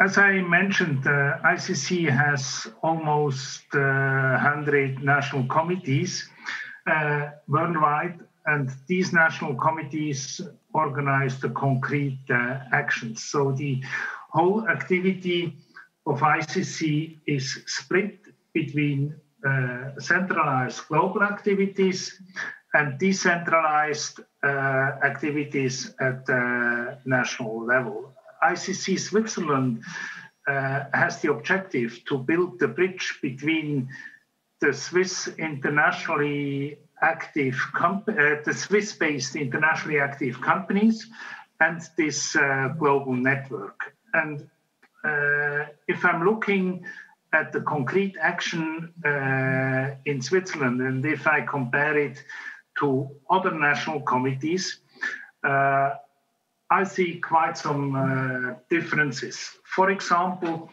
if I'm looking to my Austrian colleague, he runs about uh, 200 seminars and events uh, per year. We in Switzerland are, are running one or 2 uh, the reason is uh, we have in Switzerland a quite dense network of organizations that are uh, already providing uh, education in the field of trade, uh, Uh, export, etc. Uh, second, we have in Switzerland uh, our uh, dual education system with uh, strict curriculums for professionals with federally recognized exams, etc. And it is a little bit difficult to fit a global oriented edu educational program into this uh, national uh, uh, network. So I mentioned that there are some challenges in organizing or in running a global uh, educational system. In Switzerland, a lot of uh, these activities are already uh, provided for by other organizations than ICC. For us, this is a challenge because our branding, uh, our uh, the knowledge that is elaborated, the development of the rules, etc., are not directly recognized as ICC products, but are part of the uh, let's put me uh, like that, uh, the ordinary educational system. And I must acknowledge that there is a, a loophole or a, a, missing link between our activities and the uh, academic and educational work. Here we would have uh, to establish more cooperation between uh, Fachhochschulen, uh, the, the, higher educational mm-hmm. system, also between the professional education uh, we have in Switzerland and the uh, activities of the uh, global business organization. This is completely different uh, in other countries where the dense network of educational institution does not uh, exist and uh, where the basic education is provided for uh, by, uh, uh, at least in some parts, by ICC national committees. Pierre, you just wanted to add something. Yeah, just a, a short comment. Um, at the EPFL, we were the pioneers in Europe in these massive open online courses MOOCs. We got uh, more than 2 million students in the world that have taken a MOOC from EPFL. And just to continue what Thomas said, actually, it was a surprise to discover that two thirds of them have a job. Mm. So we, it was course from the campus, but actually um, many people from companies, because Thomas was saying there is a bit of a gap between the vocational corporate training and the and the academic, and in some way, these courses, when you put them online, you have no control of who takes them. So they were taken by people who had a job in a company, maybe wanted to leave the company, maybe wanted to move on in the company, wanted, maybe wanted to be uh, independent. So it was a great surprise for us that uh, once it's online, when it's on campus and you have conditions to enter and all the formal system, but once it's in online, it's in the wild. There is no condition. You want it, you, you take it. The average age was uh, about 13, and the average um, people had already uh, a degree before. That was it. Thanks, Pierre, uh, for the comment. Add, the, this will be uh, the future development. Uh, and the COVID crisis accelerated uh, this move because suddenly one discovered uh, that uh, one can participate in uh, seminars or in trainings organized uh, uh, anywhere in the world. and I think this will really influence the development. In Switzerland, we will be faced uh, with the challenge to integrate these activities, uh, which sometimes focus only on a certain aspect, how uh, we do uh, integrate these courses, these elements into our uh, ordinary uh, education, into our ordinary system. How can we combine the, these two parts? I feel uh, it is possible. Uh, there are no fundamental obstacles, but there are uh, uh, there is a lack of interchange between the two worlds, so to speak.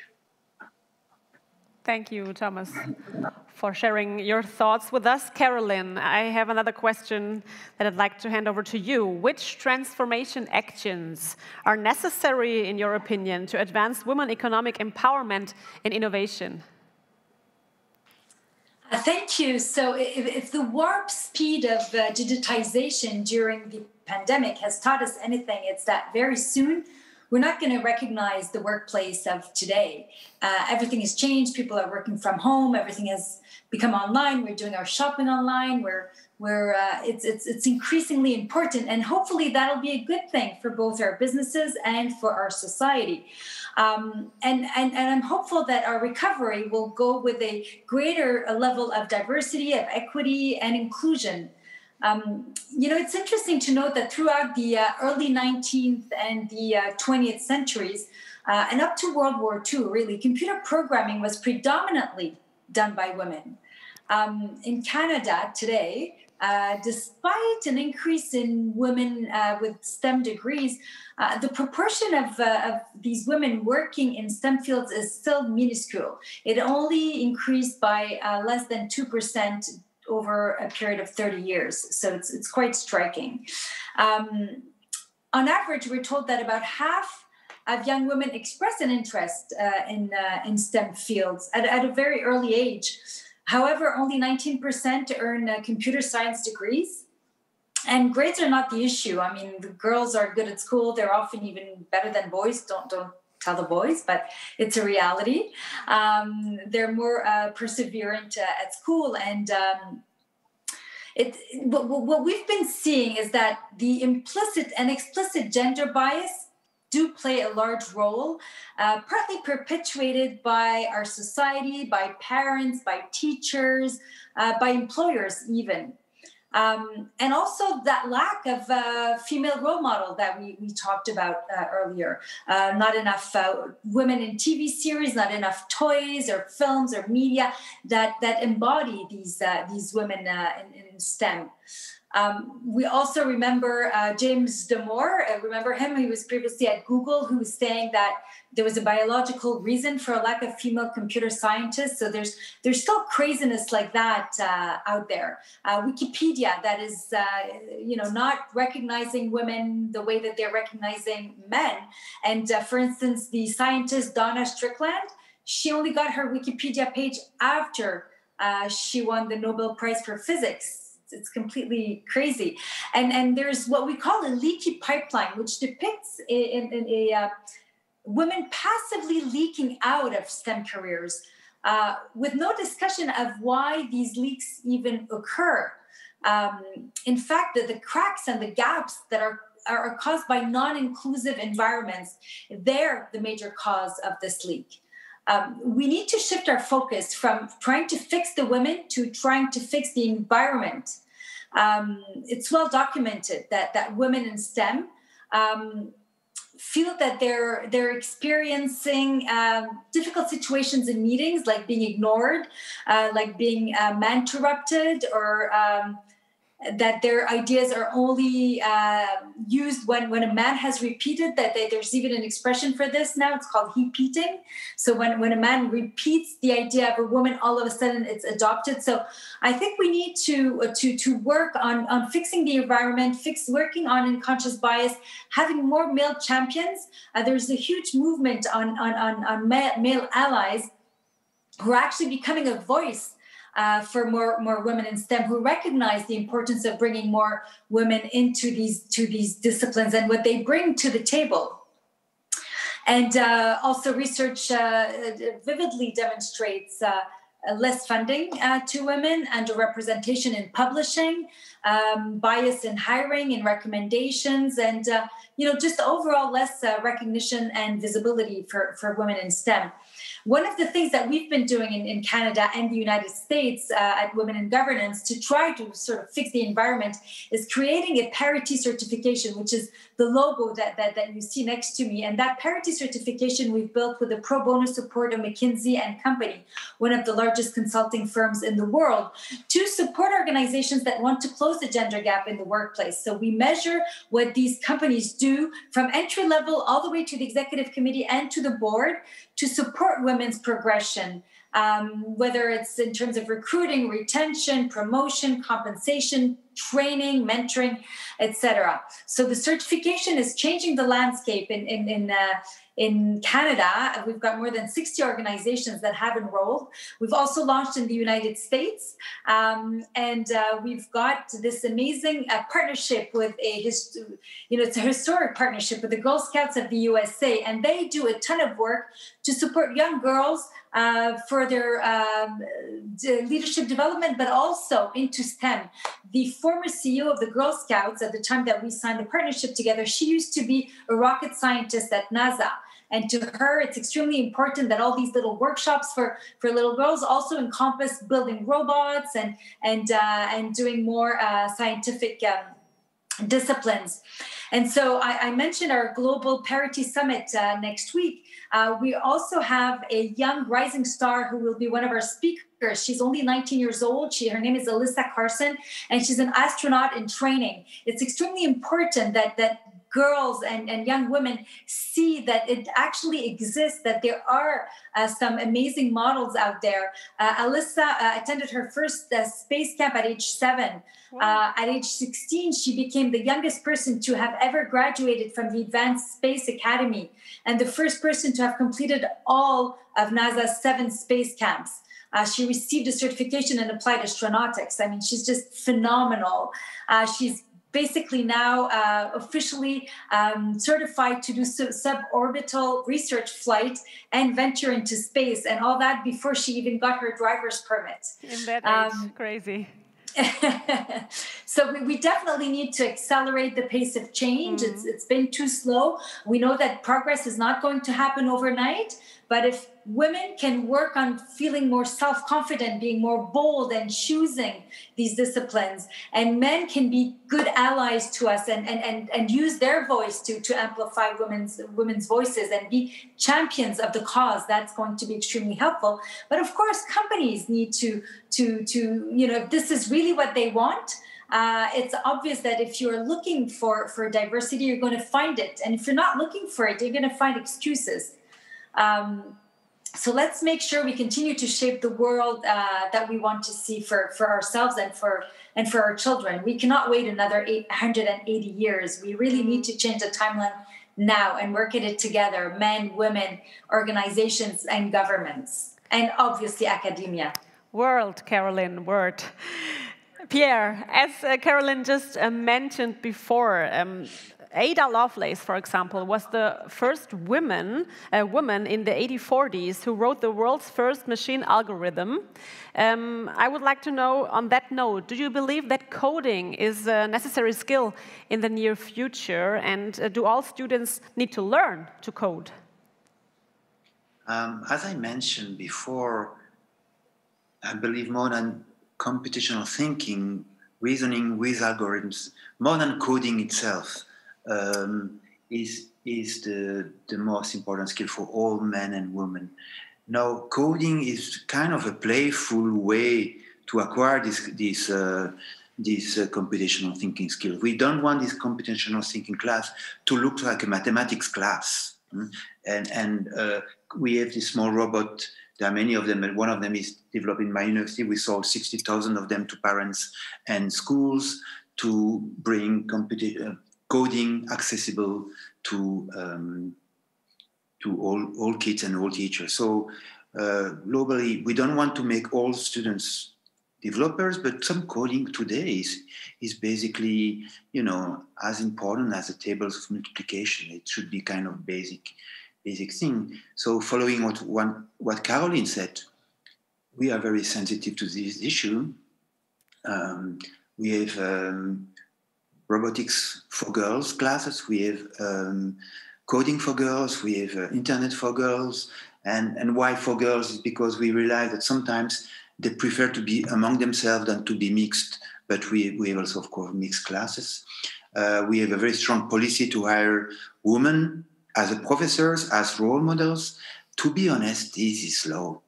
Our progress are very slow. We are still, I think, in 10 years, we we move from 20 to 30 percent engineering students. So um, yeah, we, we do we do a lot, and, and we will not stop doing it. We'll continue, but um, and, and, and you know this this uh, coding for girls. We, we we go into secondary school. We don't do it here. We we we bring them as early as possible.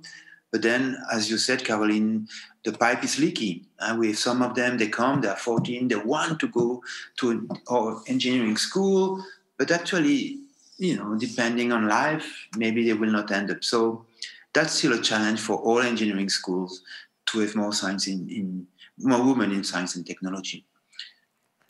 Thank you, Pierre. There just uh, came in a question from our audience. Caroline, I'd like to hand over to you. How can men play a more active role in promoting gender equality in women's empowerment?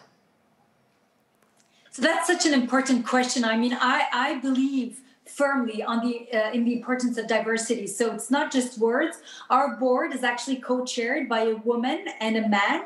Uh, the woman being Monique Leroux, who sits on boards globally. She's she's a model. She was the first woman at the head of the largest uh, of, of, large financial uh, institution here in Canada, Desjardins.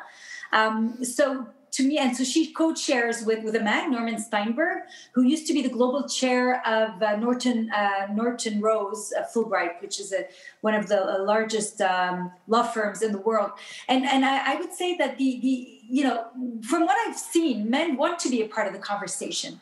Often they don't know where to start, or they don't know if they're uh, accepted in that space. Uh, they feel it might not be their role. And I think it's up to us to make them feel comfortable and welcome. In all our events, we make sure that we have diversity. We need to have men at the table. And if they are well equipped, if they understand what the issues are, and they uh, decide, you know, if, if, if they're the ones who have the power, if they're the ones who are the CEOs, with 5% of female CEOs, that means 95% are male. If we want them to open their doors, if we want the tone at the top to be the appropriate tone, then definitely men have, have a role to play. And that's at every level, at every age. So we're talking about obviously the tone at, at the top so that there are more women who can make it all the way to, to, to the top of organizations. But here in, in quebec we have a young rapper who goes a male rapper who goes from school to school and he's got songs about the importance of gender equality and respecting girls etc so i uh, to me it's it's a key part of our conversation. And we're lucky to have a prime minister in canada justin trudeau uh, who i do a lot of work with who's an open openly feminist and is not shy to say that it is uh, men's role to, uh, to, to, to help close that gender gap. Thank you, Caroline. Time is running. We only have time for one last question. I'm so sorry. We could talk on and on about this very interesting um, topic. Uh, Pierre, one last question I'd like to pose to you. Why are there so few 3D printers in school? I don't understand. Ask a question to all the people. We have these fantastic things, and every time I enter a school, every time I enter a school, I say, "Where are the 3D printers?" Of course, they should not be in the back of the class, but the classroom, because some of them make make no sense. That's uh, too dangerous. no, but uh, you know, we, this is this is an example of a change of culture. We've been living in a subtractive world, like to make piece of wood, you, you take, you cut a tree, you cut um, things, you cut like that, you cut like that, you cut like, at, the, at the end, you make a furniture or you make a, a, a roof. And today, you have this additive logic that does not replace the subtractive. You don't cut anymore, you cut, you cut and you add. And how do you add a dot in a 3D space? Or you need another dot below. Huh. That's a complete different logic of building 3D. So let's get our kids excited. You can 3D print in wood. You can 3D print in chocolate today. Uh, you could 3D print in plastic, in iron, and so on. So we are. I think we, we've seen. We've. I've seen. I've seen a change like in the last three years. In the last three years, I've given about 50 talks per year, not in conference anymore, in schools. And um, I could give double, but I said no because no, I think no, all school directors understand that they have to do something to prepare their kids to the future. Not because of our work, because of the AI, the fear of AI. And um, so I think we are in good times now. the and with the COVID and all schools being uh, homeschooling from brutally from one day to the next day, the field is a bit more ready. Uh, we will not, we will come back to the school, of course, but uh, I think times are ready to to bring a bit more. Um, of these things in the classroom. When you talk about digital education, people imagine kids in front of the tablet or in front of a computer for the entire day watching things. That's not that's not the digital world. You know, mm. 3D printing is a good example. Going in the in the forest with the iPad, taking picture of a mushroom, coming back to the classroom and print the mushroom in 3D. That's life of, of the classroom. So the bottleneck today is teacher training. Clearly, it's that's- not a technology it's teacher training, and that's really for me the priority. When I will be Minister of Education, I will push on that. Hopefully, he listens what you said, and he's joining Future Talk too. Thank you so much, uh, Pierre. And uh, thanks to all of you being part at Future Talk 2020. Thanks for this very interesting talk, for letting us into your thoughts, into your experiences concerning um, this very important topic. All the best to you. Hopefully, see you next year at Future Talk 2021. And um, stay safe and healthy. Goodbye. Bye. Thank you. Bye bye.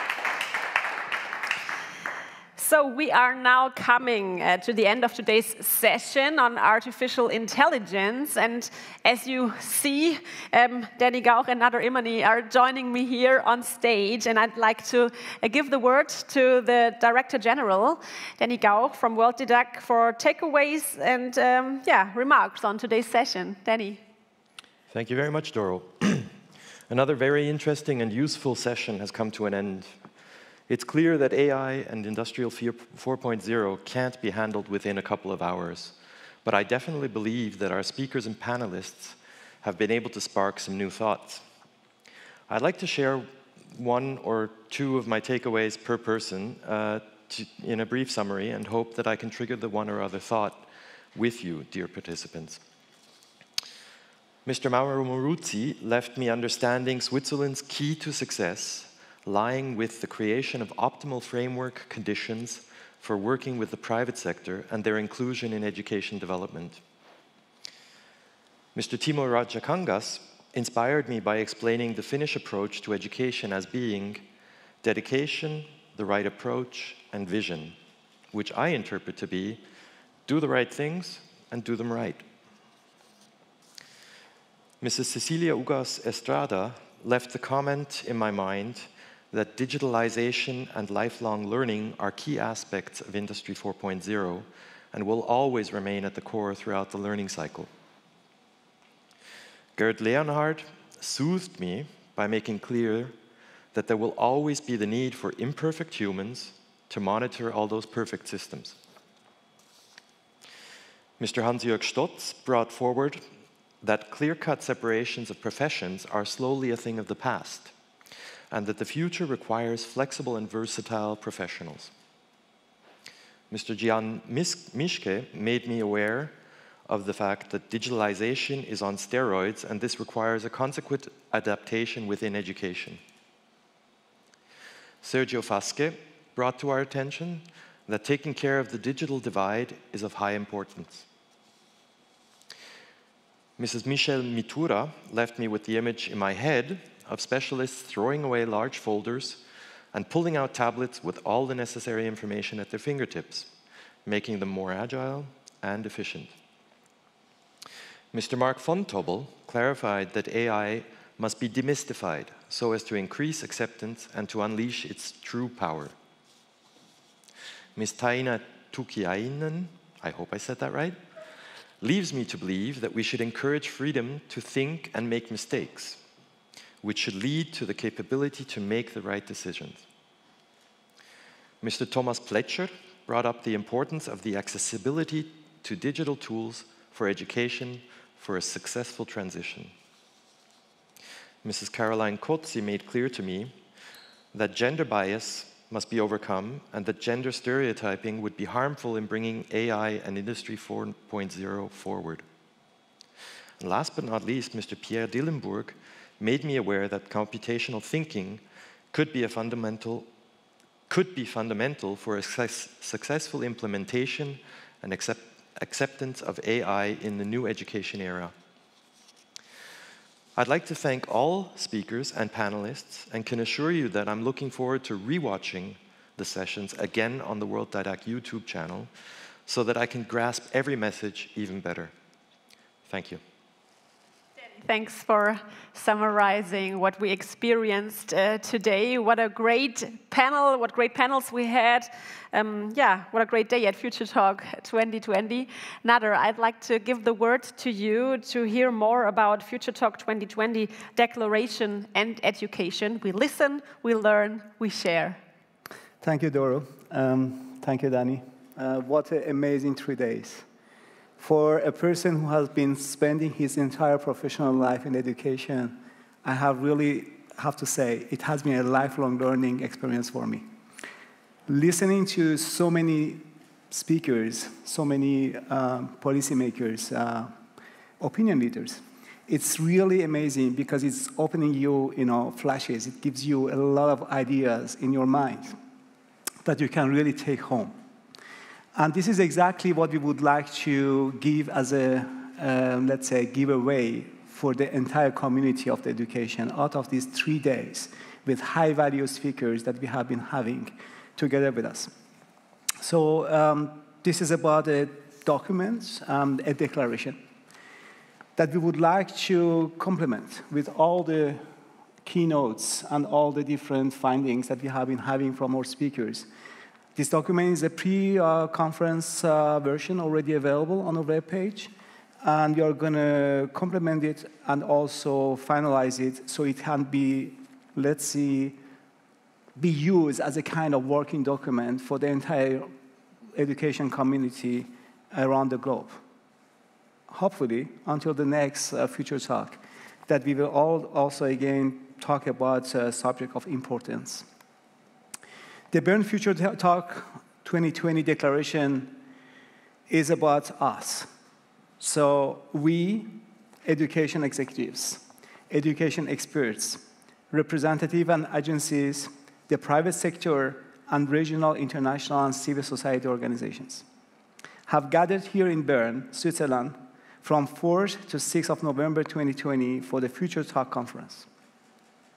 Three conference days are dedicated to three different topics STEAM for education, green education, and artificial intelligence, and the fourth industrial revolution. Men and women, all ages, representing all regions around the globe, came together to share their ideas, experience, expertise, and thereby help shape the future of education in those areas. We meet at a critical moment in the process of establishing a global sustainable development agenda. We express our wholehearted support for all the SDGs, but in particular for the SDG number four, ensure inclusive and equitable quality education and promote lifelong learning opportunities for all. So we think innovation. Skills, knowledge, and technology need to evolve together hand in hand with both human and social interaction. The creative use of skills and knowledge supports the development, building, and maintenance of a sustainable smart societies. Governments have a role in supporting the development of new skills to keep up with the innovative and in the both society and the industry.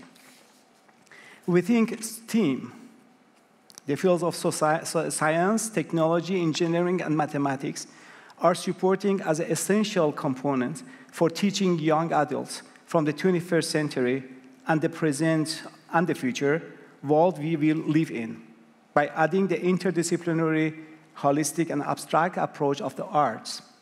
STEM turned into the STEAM, triggering curiosity, creativity, and compassion for lifelong learning regardless of gender. We think green. Growing concerns about climate change, environmental degradation, and scarcity of resources are changing the nature of work and life. Technological progress aligned with the sustainability issues requires the need to explore and develop green education. that not only focuses on sustainable production and frugal living, but also helps to overcome environmental challenges in a systematic way. Especially TVETs, technical vocational education and training, and related transformation of TVET and lifelong learning can play a fundamental and crucial role in this context. Education will impact our attitudes, or values that we need to have to perfect our planet we borrowed from our next generations. We think artificial intelligence in the era of Industry 4.0. The fourth industrial revolution is changing the world around us. Digital innovations, the Internet of Things, and the big data and artificial intelligence are driving globalization beyond borders and impact the global economy. The environment, labor market, and society's intellectual intensive jobs will be impacted just as much as hope, shop floors activities, and modern manufacturing. Education and skills development from primary school to lifelong learning, as well as partnership at all levels and within all sectors, are in high demand all around the globe. Individuals will need to be well educated and highly trained in new technologies, as well as the va values associated with using those technologies. Artificial intelligence will help us in EdTech for a better learning efficiency. Within jobs, prosperity, and inclusion, education should be adaptable and applicable to be relevant industry and business sectors. Experience from industry and the labor market at large is essential to strike a balance between practical skills and academic education. Education should be the foundation to promise people jobs and prosperity for a decent life. We believe in a future with a digital learning. The recent COVID-19 crisis has highlighted, despite the development in recent years, that the use and deployment of digital learning, e-learning, online learning is still at an early stage and was not prepared to become a mainstream tool. Digital education will be required worldwide.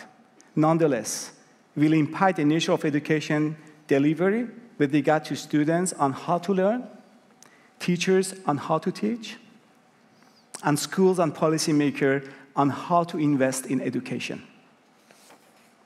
In conclusion, we stand united behind this declaration and commit ourselves to abide by it, carry it home, become its ambassadors, and ensure its positive outcome and long-standing resonance. We regard this Bern Declaration Future Talk 2020 as a recommendation from our community to the community interested in forward-looking and future-oriented education all over the world. We express our deep appreciation to our patron, the government of people of Bern, for their hospitality and support for this year's Future Talk conference, and we note with appreciation Bern's dedication to the future of education. We thank our conference lead agencies, UNESCO UIL, UNESCO UNEVOC, and UNIDO. We thank our Future Talk 2020 embassy host, the Embassy of Canada, the Embassy of Finland, and the Embassy of Korea for their willingness and support to help building towards matching demand and supply of education in a changing world. As most important, we sincerely thank all our speakers and contributors who have been the ones who have brought the Future Talk dialogue platform to live with their perspective, their contribution, their impulses, and ideas. So this is the point. I'm sorry, Doro, but I'm going to play the Director General card. I would like to express my appreciation to you too, Nader. Um, the, uh, the effort you've brought and put into that document, really very valuable, and I do believe it, uh, it will bring something in the future. Uh, it's about getting the people on board, bringing people together for education, for the improvement of education, and uh, I think we're on the right track. I thank you so much for that. Thank you too. Now, as I'm already doing thanks, um, I would like to get one person to come up on, on the front, and this person Elfie. Elfie Klump is the driver behind the Future Talk event. And um, just to make sure I'm doing the right social distancing here, um, a, a little bit into the light would be nice. A big thank you to you for all of your efforts, for all those, for all those long nights, and uh, I hope that we can count on you for 2021 again. Thank you very much. Then, of course, we also have uh, people in the background. And these people in the background are also very important. So I would like to call the team from World Didac Bern. We have Analea de Courtins. Please come forward.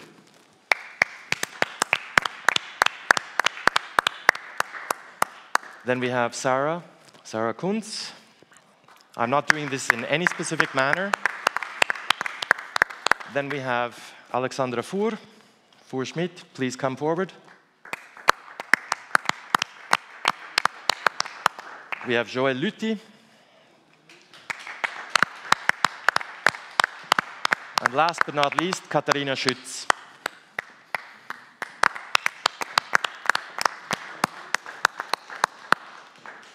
a little bit into the light. You deserve the light.